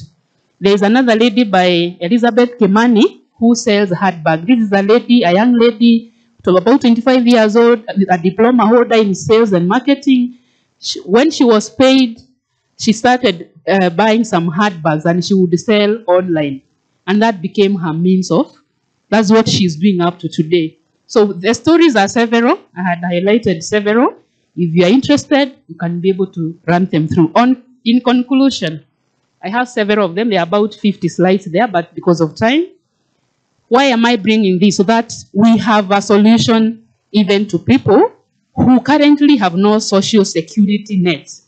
But there's, uh, if we, the programs are tailored towards meeting the specific need of people, uh, it can be, it can solve the problem. Conclusions is not that the study has established that most social security programs are tax financed, um, mainly uh, in the form of non-contributor, like the cash transfer. You, you have to get it from the tax to pay. So me and you have to pay tax for them too. But if they are contributor, if they are made contributory, it can be very effective and long-lasting. According to WUSC, a sustainable universal social security is best established through strengthening social solidarity. I think there was that, uh, uh, uh, we, we received that presentation yesterday. And the study recommends that the country should move away from the tax financed scheme and place more emphasis on contributory schemes such as NSSF, NSSF, and others that can come up. And uh, in addition, the study has observed that the country has no social security program for protecting citizens against employment, unemployment, or loss of income. That was experienced firsthand. And that's why currently you hear now the current politicians running for presidential, they are telling us about bottom up, top down, and 6,000 stipend. Why? Because we don't have a social security program currently for unemployed youths. Such programs would have come in handy during the COVID-19 pandemics.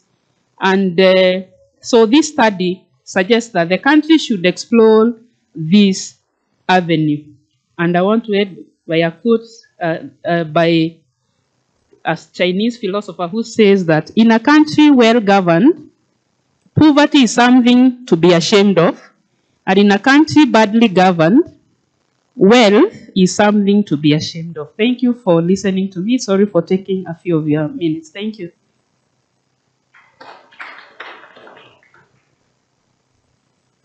All right. Thank you very much, Mary, for your presentation. That presentation shows us that although there are significant problems highlighted by the COVID-19 pandemic, that there is yet some hope that there is a redemptive turn to the COVID-19 pandemic and that there is a role, there is a potential role to be played by government and other important uh, stakeholders. Now, there's an important uh, announcement uh, relevant to our online uh, participants. We recognize your presence and we encourage you for purposes of uh, asking questions so that this can be fully interactive both here in person as well as on the online space. You're encouraged to send your questions um, and and or other contributions to the chat section uh, that is available in the on the online platform on which you are joining us in this discussion. All right, the next uh, presentation is uh, the paper by Diana Ndashiki titled Human Rights Protection in the Context of uh, the COVID-19 Pandemic. That will be followed by another important contribution by Dr. Paul Ogendi titled Access to Justice and the Health Sector During the COVID-19 Pandemic. So I have this very colorful presentation for for us this afternoon. So I changed my topic um, a bit. I'll be presenting on the use of strategic litigation for the protection of human rights during the COVID-19 pandemic. Um, so I wanted to base this on um, the work that we do at Kituo cha Sheria and also looking at other um, human rights organizations and CSOs and how they were able to file uh, public interest litigation or strategic litigation cases um, to protect the rights of um, of especially the poor and the marginalized uh, groups in society uh, during the pandemic. So first, um, we can describe strategic litigation as the use of an individual or test cases to create um, broader change in the society. So when you go with this one or three cases to court, you're not only seeking redress for these clients uh, that you're representing, you're also aiming to prevent similar injustices from occurring to others in similar circumstances or in the future. Um, so how has it been used? And we'll just look at cases, but um, you can think about these uh, points that I'm mentioning now and see if uh, those cases were able to um, bring out these things. So one, strategic, strategic litigation has been used during the pandemic to trigger discussions and to raise awareness on rights violations. And then um, it has been used to highlight weaknesses and gaps in law, also to expose inequalities in legal systems, and finally to check on administrat- administrative excesses. Um, on this last point has been discussed very well uh, in the morning uh, session uh, by Ogada, and I'll still go into that area of his presentation when we look at the cases. So yesterday, when we were having tea, um, there's a group that was saying you will know the difference between a lawyer's presentation and a person who's not a lawyer. They were saying lawyers use cases only. So I'll try to explain the cases so that for the purposes of everyone understanding the presentation. But yes, my presentation will be majorly looking at cases. Um, so yeah, these are the three main cases that we're going to look at and uh, see how um, through these cases we're able to, uh, or CSOs were able to protect human rights during the pandemic. The first one is uh, Legal Advice Center, uh, trading as Kituo cha Sheria and two others versus the Chief Justice uh, and two others 2020. So this case uh, is based on the presentation that um, the um, Honorable um, Judge spoke about yesterday when she was talking about how the judiciary um, introduced ICT and technology in um, in delivering judicial services to the public. So, if you remember in her presentation, she mentioned that there is a group or a very um, a percentage of Kenyans who are actually locked out. Um, and even when we're discussing um, education and legal education, it also came up. Um, without without realizing or noticing that some uh, the realities of some of the Kenyan citizens, especially the poor and the marginalized, um, when you're introducing ICT or um, digitalization in, which, in whichever systems, you find that at the end of the day, you end up locking out this group of people. So uh, the background of this case, it's uh, basically that um, the petitioners um, were basically saying without programs, without necessary and adequate programs and initiatives to cover the poor and self-representing litigants, um, they are locked out and they are unable to access justice um, in the country, or I mean, in courts. So the Chief Justice uh, was a respondent and also the National Council on the Administration of Justice. And their response was that what they were doing or introducing, uh, uh, or let me say, digitizing the judiciary in such a hurry was reasonable in the circumstances, it was proportionate, and it was constitutional. Here I've left everyone behind. I'm on slide five. Previous one. No. Uh, where it's written Legal Advice Center, yes. Sorry for that. So, um, yeah, um, yeah, they responded and said that their actions were reasonable, proportionate, and constitutional, and reflective of what everyone else in the world was doing at that particular time uh, during the okay, still during the pandemic. So they also said that um, the petitioners they, they were not able to prove that anyone has actually been uh, been whose rights have, have been infringed by the introduction of technology. But maybe that is just a, a lawyer's ways of trying to defend their case. Because you see even yesterday they acknowledged that definitely there are people who are actually locked out or whose rights are infringed as a result of not taking into consideration um, that uh, ICT without the right um, programs and initiatives will lock out people. So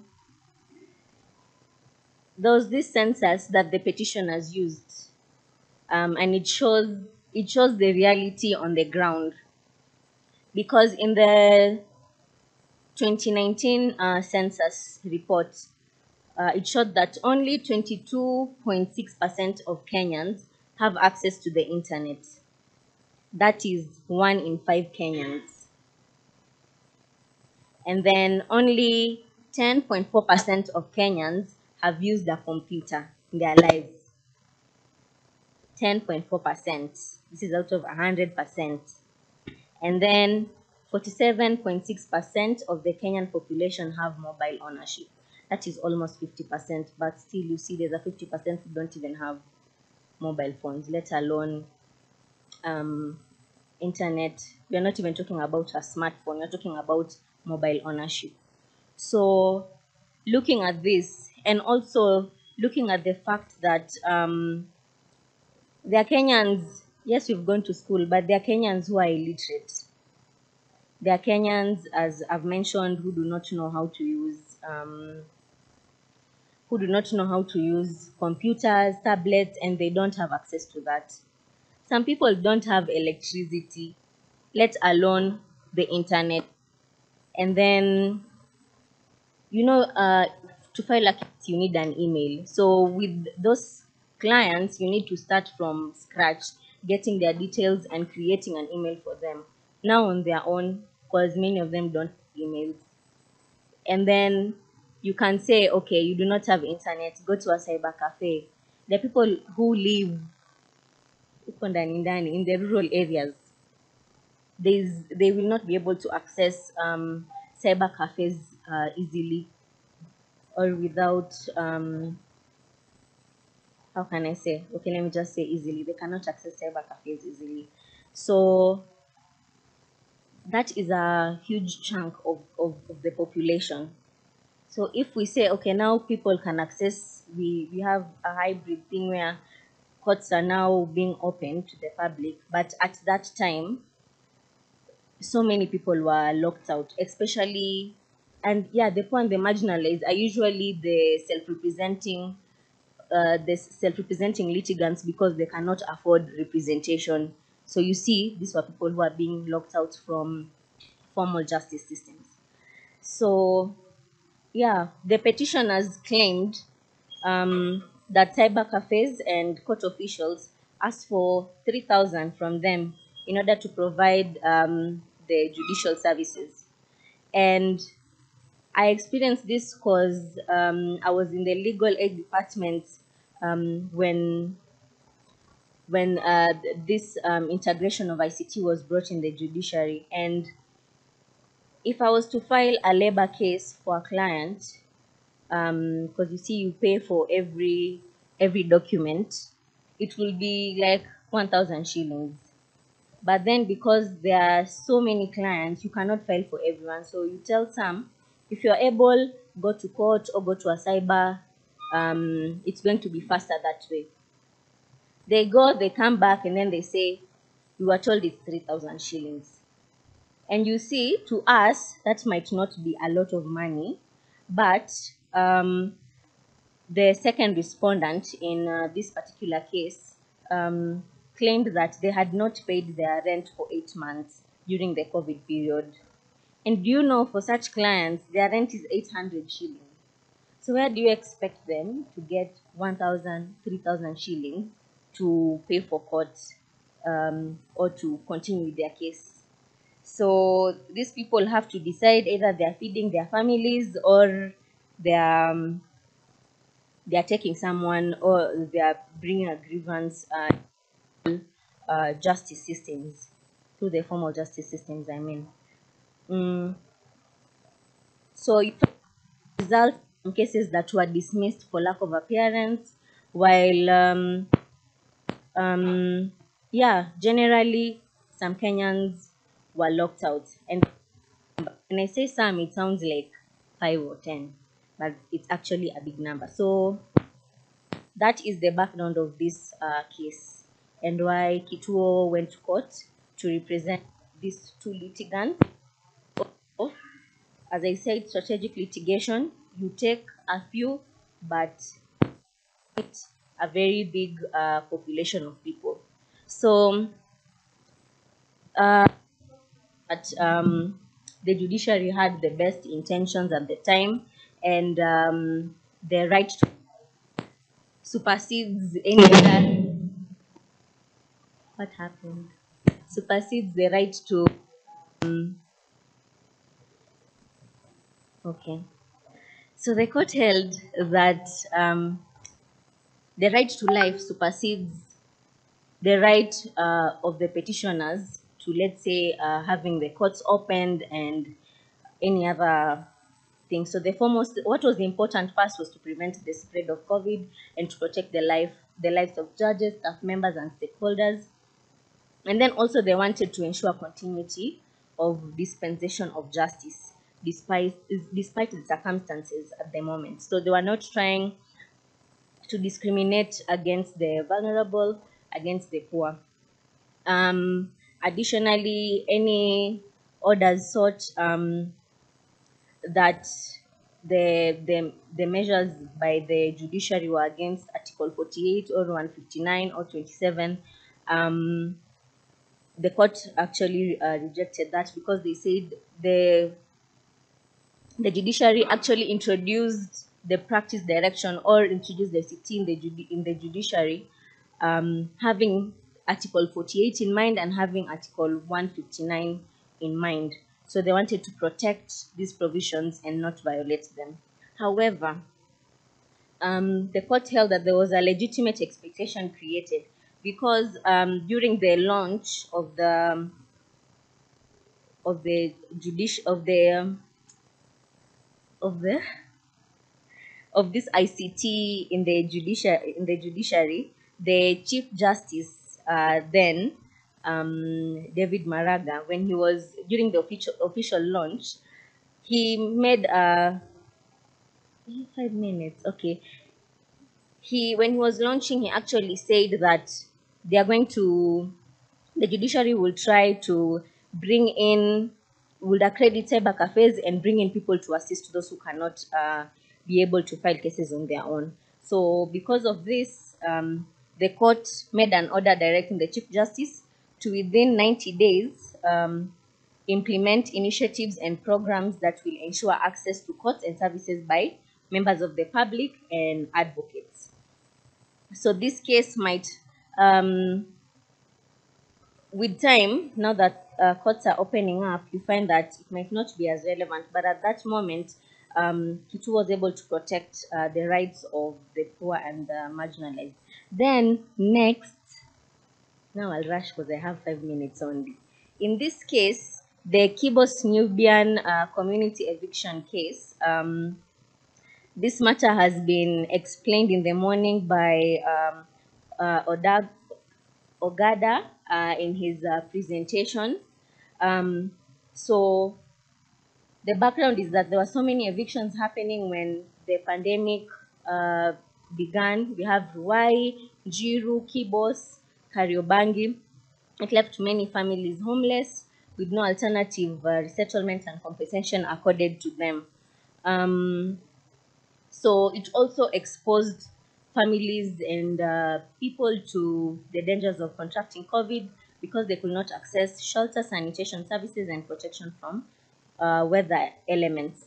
So in this particular case, um, the in summary, the Nubians at Kibos, they actually have a license uh, during their lifetime to settle on the land that they occupy.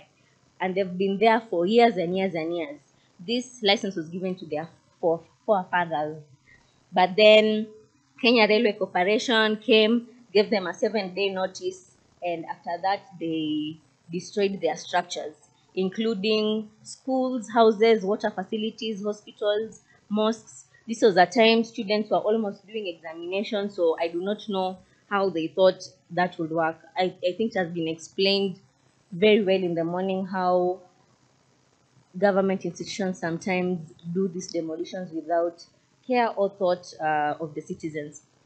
So the court held that any forceful eviction and or demolition without relocation of the people is illegal and it violates the petitioner's rights to right of property and they're entitled to um, either property or compensation before relocation. So this is a photo of them when they won. Ah, you, you showed the photo, yes. The last case, um, we know it was the curfew case by the Law Society of Kenya and other interested parties, including Kituo cha Sheria. So at this time, um, I know we remember, um, or show slide 12 first. Just on the same day, I know we all remember seeing this video somewhere or this photo. You remember this guy, this truck driver? Thank you for the response. And then the next one. This was in Likoni. Was in Likoni. First day uh, of enforcement of the curfew. It was not even curfew time. Kenyans were just trying to get home before the curfew, and then the police decided to uh, make unreasonable force um, upon them. So the Law Society of Kenya, uh, with other uh, CSOs, went to court um, to try and bring these issues uh, to light and also ask the court to give some relief of some sought 14. So they wanted uh, the Inspector General, a declaration that the Inspector General um, and the, the Kenya Police Service were unreasonable in the use of force in enforcing the curfew, and it was unconstitutional. Um, on the second relief sought that he be held liable, the court uh, did not ad- accept that, um, but was also one of the prayers. And then they also wanted an inclusion of um, uh, the judicial system and legal representation in the list of essential services providers. So um, at the end of it, uh, 16, the court held that truly um, the force was unreasonable.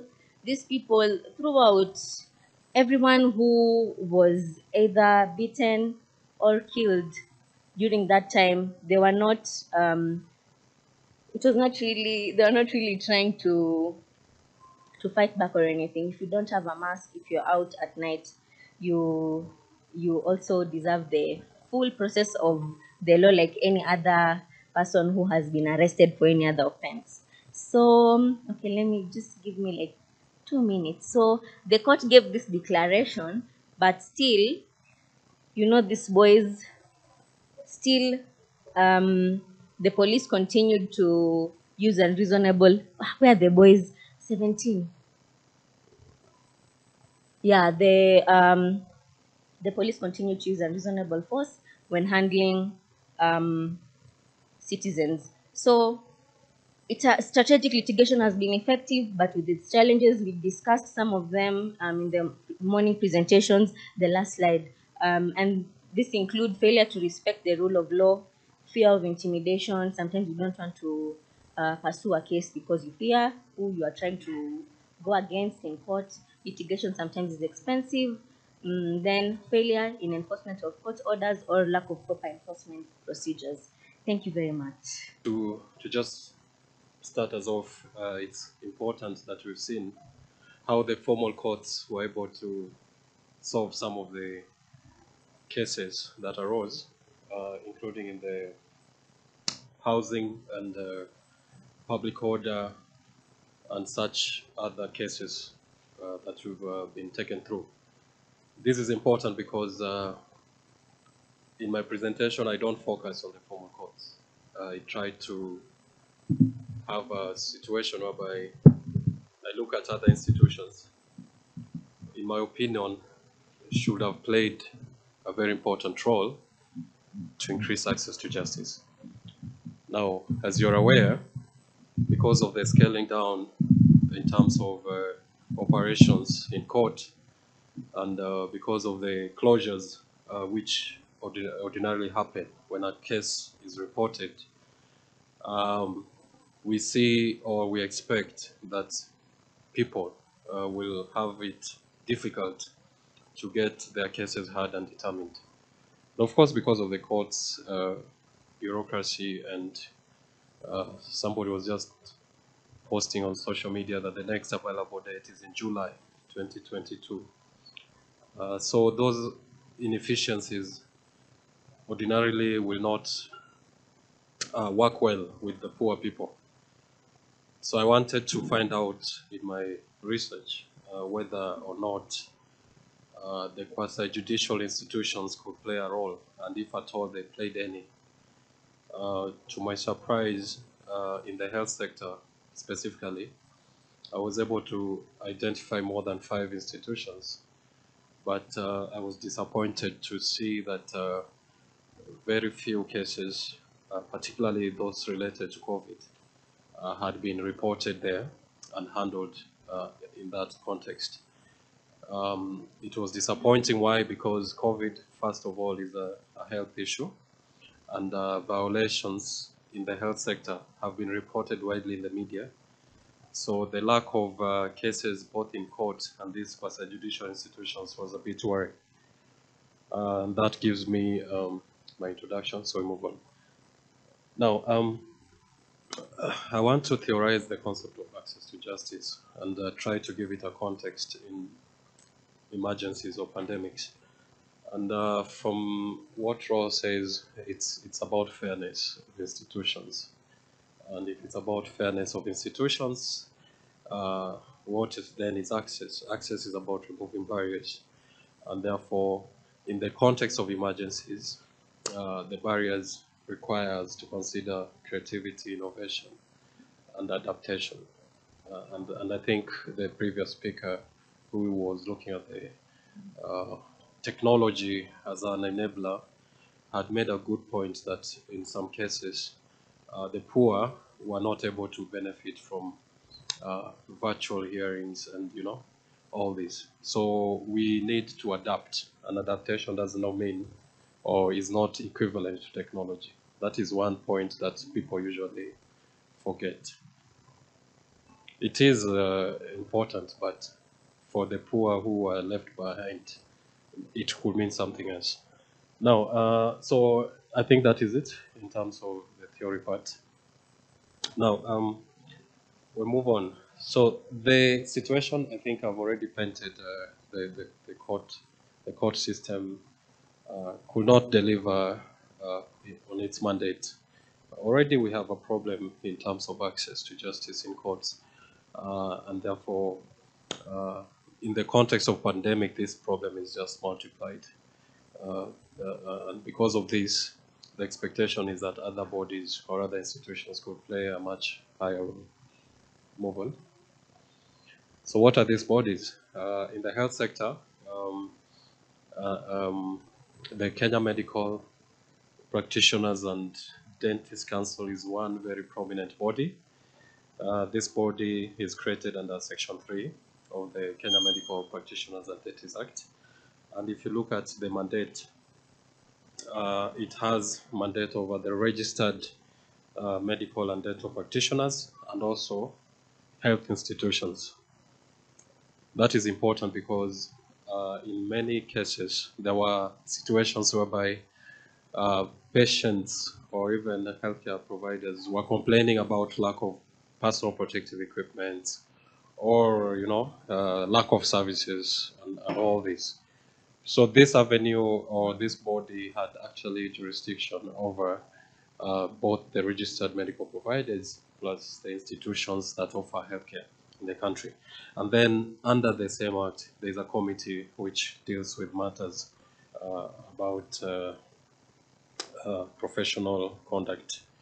And then uh, any person who has a complaint can, can uh, lodge a complaint, and uh, the council has a way of reissuing a reprimand and other things. Move on.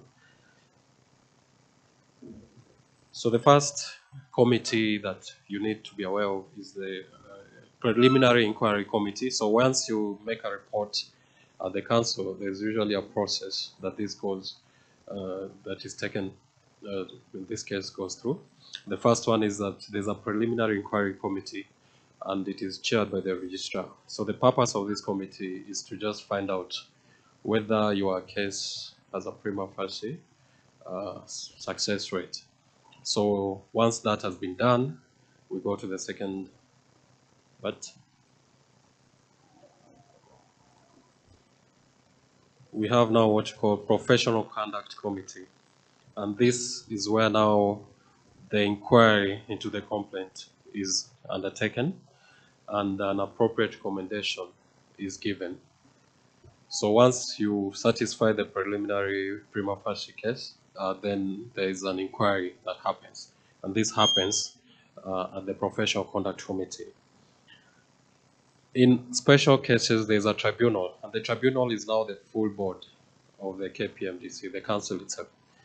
So the tribunal is composed of the full board exercising quasi-judicial functions and to determine disciplinary matters. According to the code, the primary duty of the board sitting as a tribunal is to protect the public and the profession and subject to the above, the board is also to consider what is in the best interest of the doctor or dentist. So you see the mandate of the board is much broader. It is about the public and the profession. So that if a matter happens which is shocking eh, and a registered member is involved, uh, the board now does not send this matter to the committee, but it sits and then makes a determination. Uh, the board handles cases arising from conviction of a doctor, for example. If you are uh, maybe charged and uh, you are convicted of rape, uh, the board will be required to sit because they need to protect the profession. And uh, other uh, offenses which are categorized as serious professional misconduct. So it is not for all the cases that will go to the tribunal, but those that are relating to the conviction. And then the second one is those that are very serious uh, in terms of the profession. Then the all appeals that emanate from the board must be done within 30 days.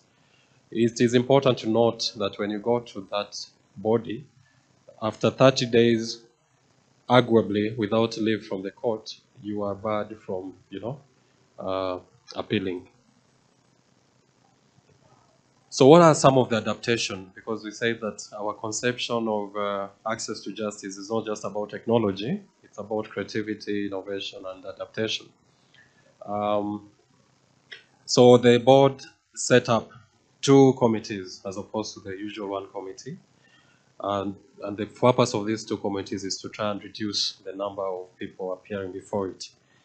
Uh, the other thing that is, they did is that uh, they had a call center, and uh, this is missing from the presentation, but they used to have only one hearing per day, or in exceptional cases, they could hear two. But in the past, they could sit one day and uh, they finish all the cases they have. But during the COVID situation, they restricted the numbers to one, and in exceptional circumstances, they could only have two cases. And in that uh, regard, uh, they also increased the number of cases, the number of days, eh? as opposed to one day per week. They now had like one week uh, per month to be able to listen to cases. So that means that they increased the number of days and also other things.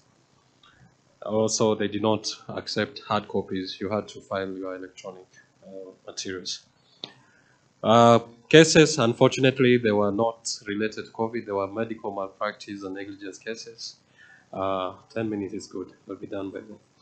Uh, then, uh, in relation to COVID cases, uh, there are many complaints were not about the conduct of doctors. It was about the billing, uh, the cost, the cost of healthcare at the facilities uh, were complained about majorly. And then the management or delays in terms of um, management of patients and then how the delays in hospital happened.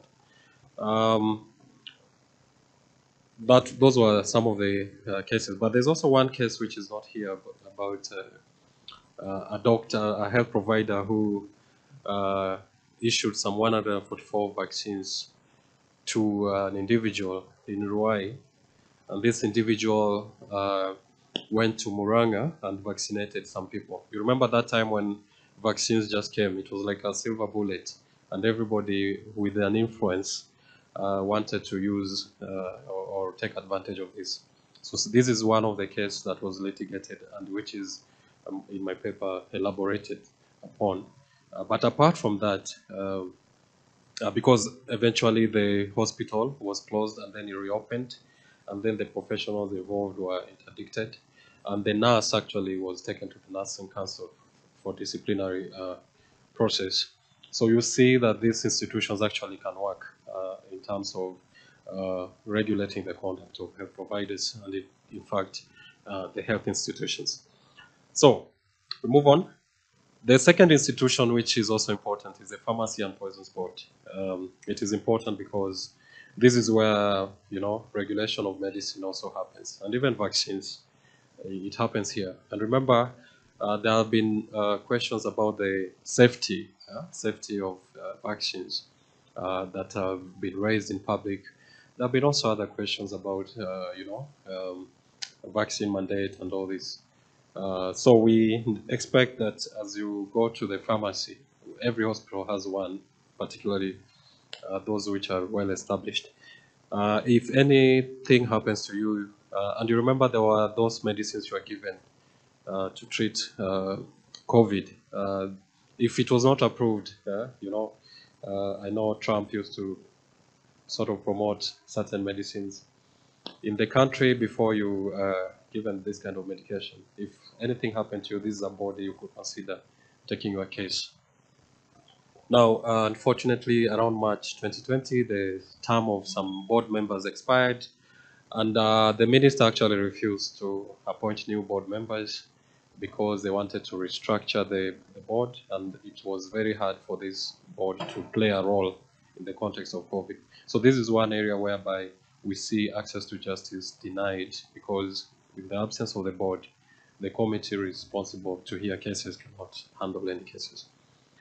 So we move on to the Nursing Council of Kenya. Uh, this is also the one that is responsible to look at uh, the standards of nursing profession. And of course, they are also supposed to look at under Section 18AF, nurses may be culpable of professional misconduct, including failing to observe and apply professional, technical, ethical, or other standard prescribed by the council as guidelines for practice by registered nurses. So there's usually that uh, um, we forget that the nurses are, are, actually, even though they work under doctors and clinical officers, they also have their own code, which is important. For example, you can be in a hospital, and uh, in most cases, uh, this is the time we saw many people in ICU. So there are ICU nurses, right? If you come and find that your patient is not properly being taken care of by a nurse, uh, then this is a body that you should consider approaching for your case. Then uh, what were the adaptation there? Uh, the council implemented a number of measures, but most importantly, they did not close down. Uh, they did not insist on, and, and all these bodies were actually operating physically. Yeah? I know technology, technology, technology has always been emphasized, but there are other measures you can take. For example, we said the board, the council had many other days to operate and fewer cases. Okay, uh, but the board had only what you call uh, hybrid sittings, where the CEO and a few others could sit internally, and then the other members could be virtual. And then the room was much bigger. So you see this kind of innovation that we're talking about. So my main aim here is to try and uh, uh, challenge that notion or that virtual is actually now the new norm in COVID. Yeah, there are other things you can do uh, to to try and provide services, but of course not being able to put our lives at risk. The the room was bigger for social and all that. So in terms of cases, there were also, regrettably, in my opinion, because I was very much interested to know whether there were COVID specific cases but most of them were just because of uh, uh, malpractice. And uh, two cases were reported during that time. Uh, the one that I've mentioned about 144 vaccines, uh, the nurse involved was actually interdicted and uh, the process concluded. the number, the, the two, the number two is not unique. I, I actually asked whether this number, the fewer cases they said, yeah, you can report on uh, a lot of cases, but only two qualify to be taken for, you know, uh, further. But there were other more cases which were reported, but this is actually ordinary. Uh, so even in terms of crisis, where you expect many cases, because you have more patients accessing health facilities, we don't see any improvement. Uh, I think it's, it's legitimate to expect more, more people to go there. Now, Clinical Officers Council, this is also there. It has the same mandate as the others. Unfortunately, I was not able to uh, interview anyone from this office, and I would be glad if you know of a person who can be able to to, to give me information about what they did in the context of COVID-19 to adapt uh, and provide, you know, the required uh, services in terms of investigation and disciplinary process. But uh, most important is to just know that this body exists, and in many of our primary healthcare facilities, I think level three and below, you will not find a doctor. You will find clinical officers. So this is important, especially because most poor people actually interact uh, with the clinical officers more than doctors. The next body that I, I, didn't know particularly existed is the Kenya Medical Laboratories Technicians and Technologists Board. Uh, you know, COVID is a lab, a lab issue, yeah? Uh, they used to have that nasal swab, and the nasal swab is taken for testing and other things. Uh, if you have results, and some people used to say that the results were faulty and all this kind of thing. So the appropriate body that would have been responsible to give you assistance is actually the this board. Last body under the health sector is the Central Board of Health. This is for public health officers. This Central Board of Health is actually located at the Ministry of Health uh, because the ministry is actually the one responsible for public health matters. And uh, for that, uh, it advises the minister, so it doesn't do much. I am not aware if they have a disciplinary committee, uh, but also for the three bodies, the clinical officers, the laboratory people, and the central board, uh, one of the things I need from you, if you are able to assist, are contacts or people I can interview so that this paper can be complete. Uh, in conclusion, um, access to justice is important, and in terms of crisis, it does not change. Eh? It has to continue. And then downscaling of court operations requires us to also look at other alternatives that are able to provide the same services we are looking for. Uh, and, and I'm thinking in the context of COVID, those health quasi-judicial institutions are even much more effective uh, because within months you'll be able to get your, you know, uh, or whatever it is. Uh, many people are obsessed with going to court, but you remember in court, uh, I know the court officers around, you can take even two years, and I don't think that is in your interest, particularly uh, in such cases. Uh, those bodies include the ones I've mentioned, and it's important that we don't Uh, forget about them. Uh, that is it. Thank you.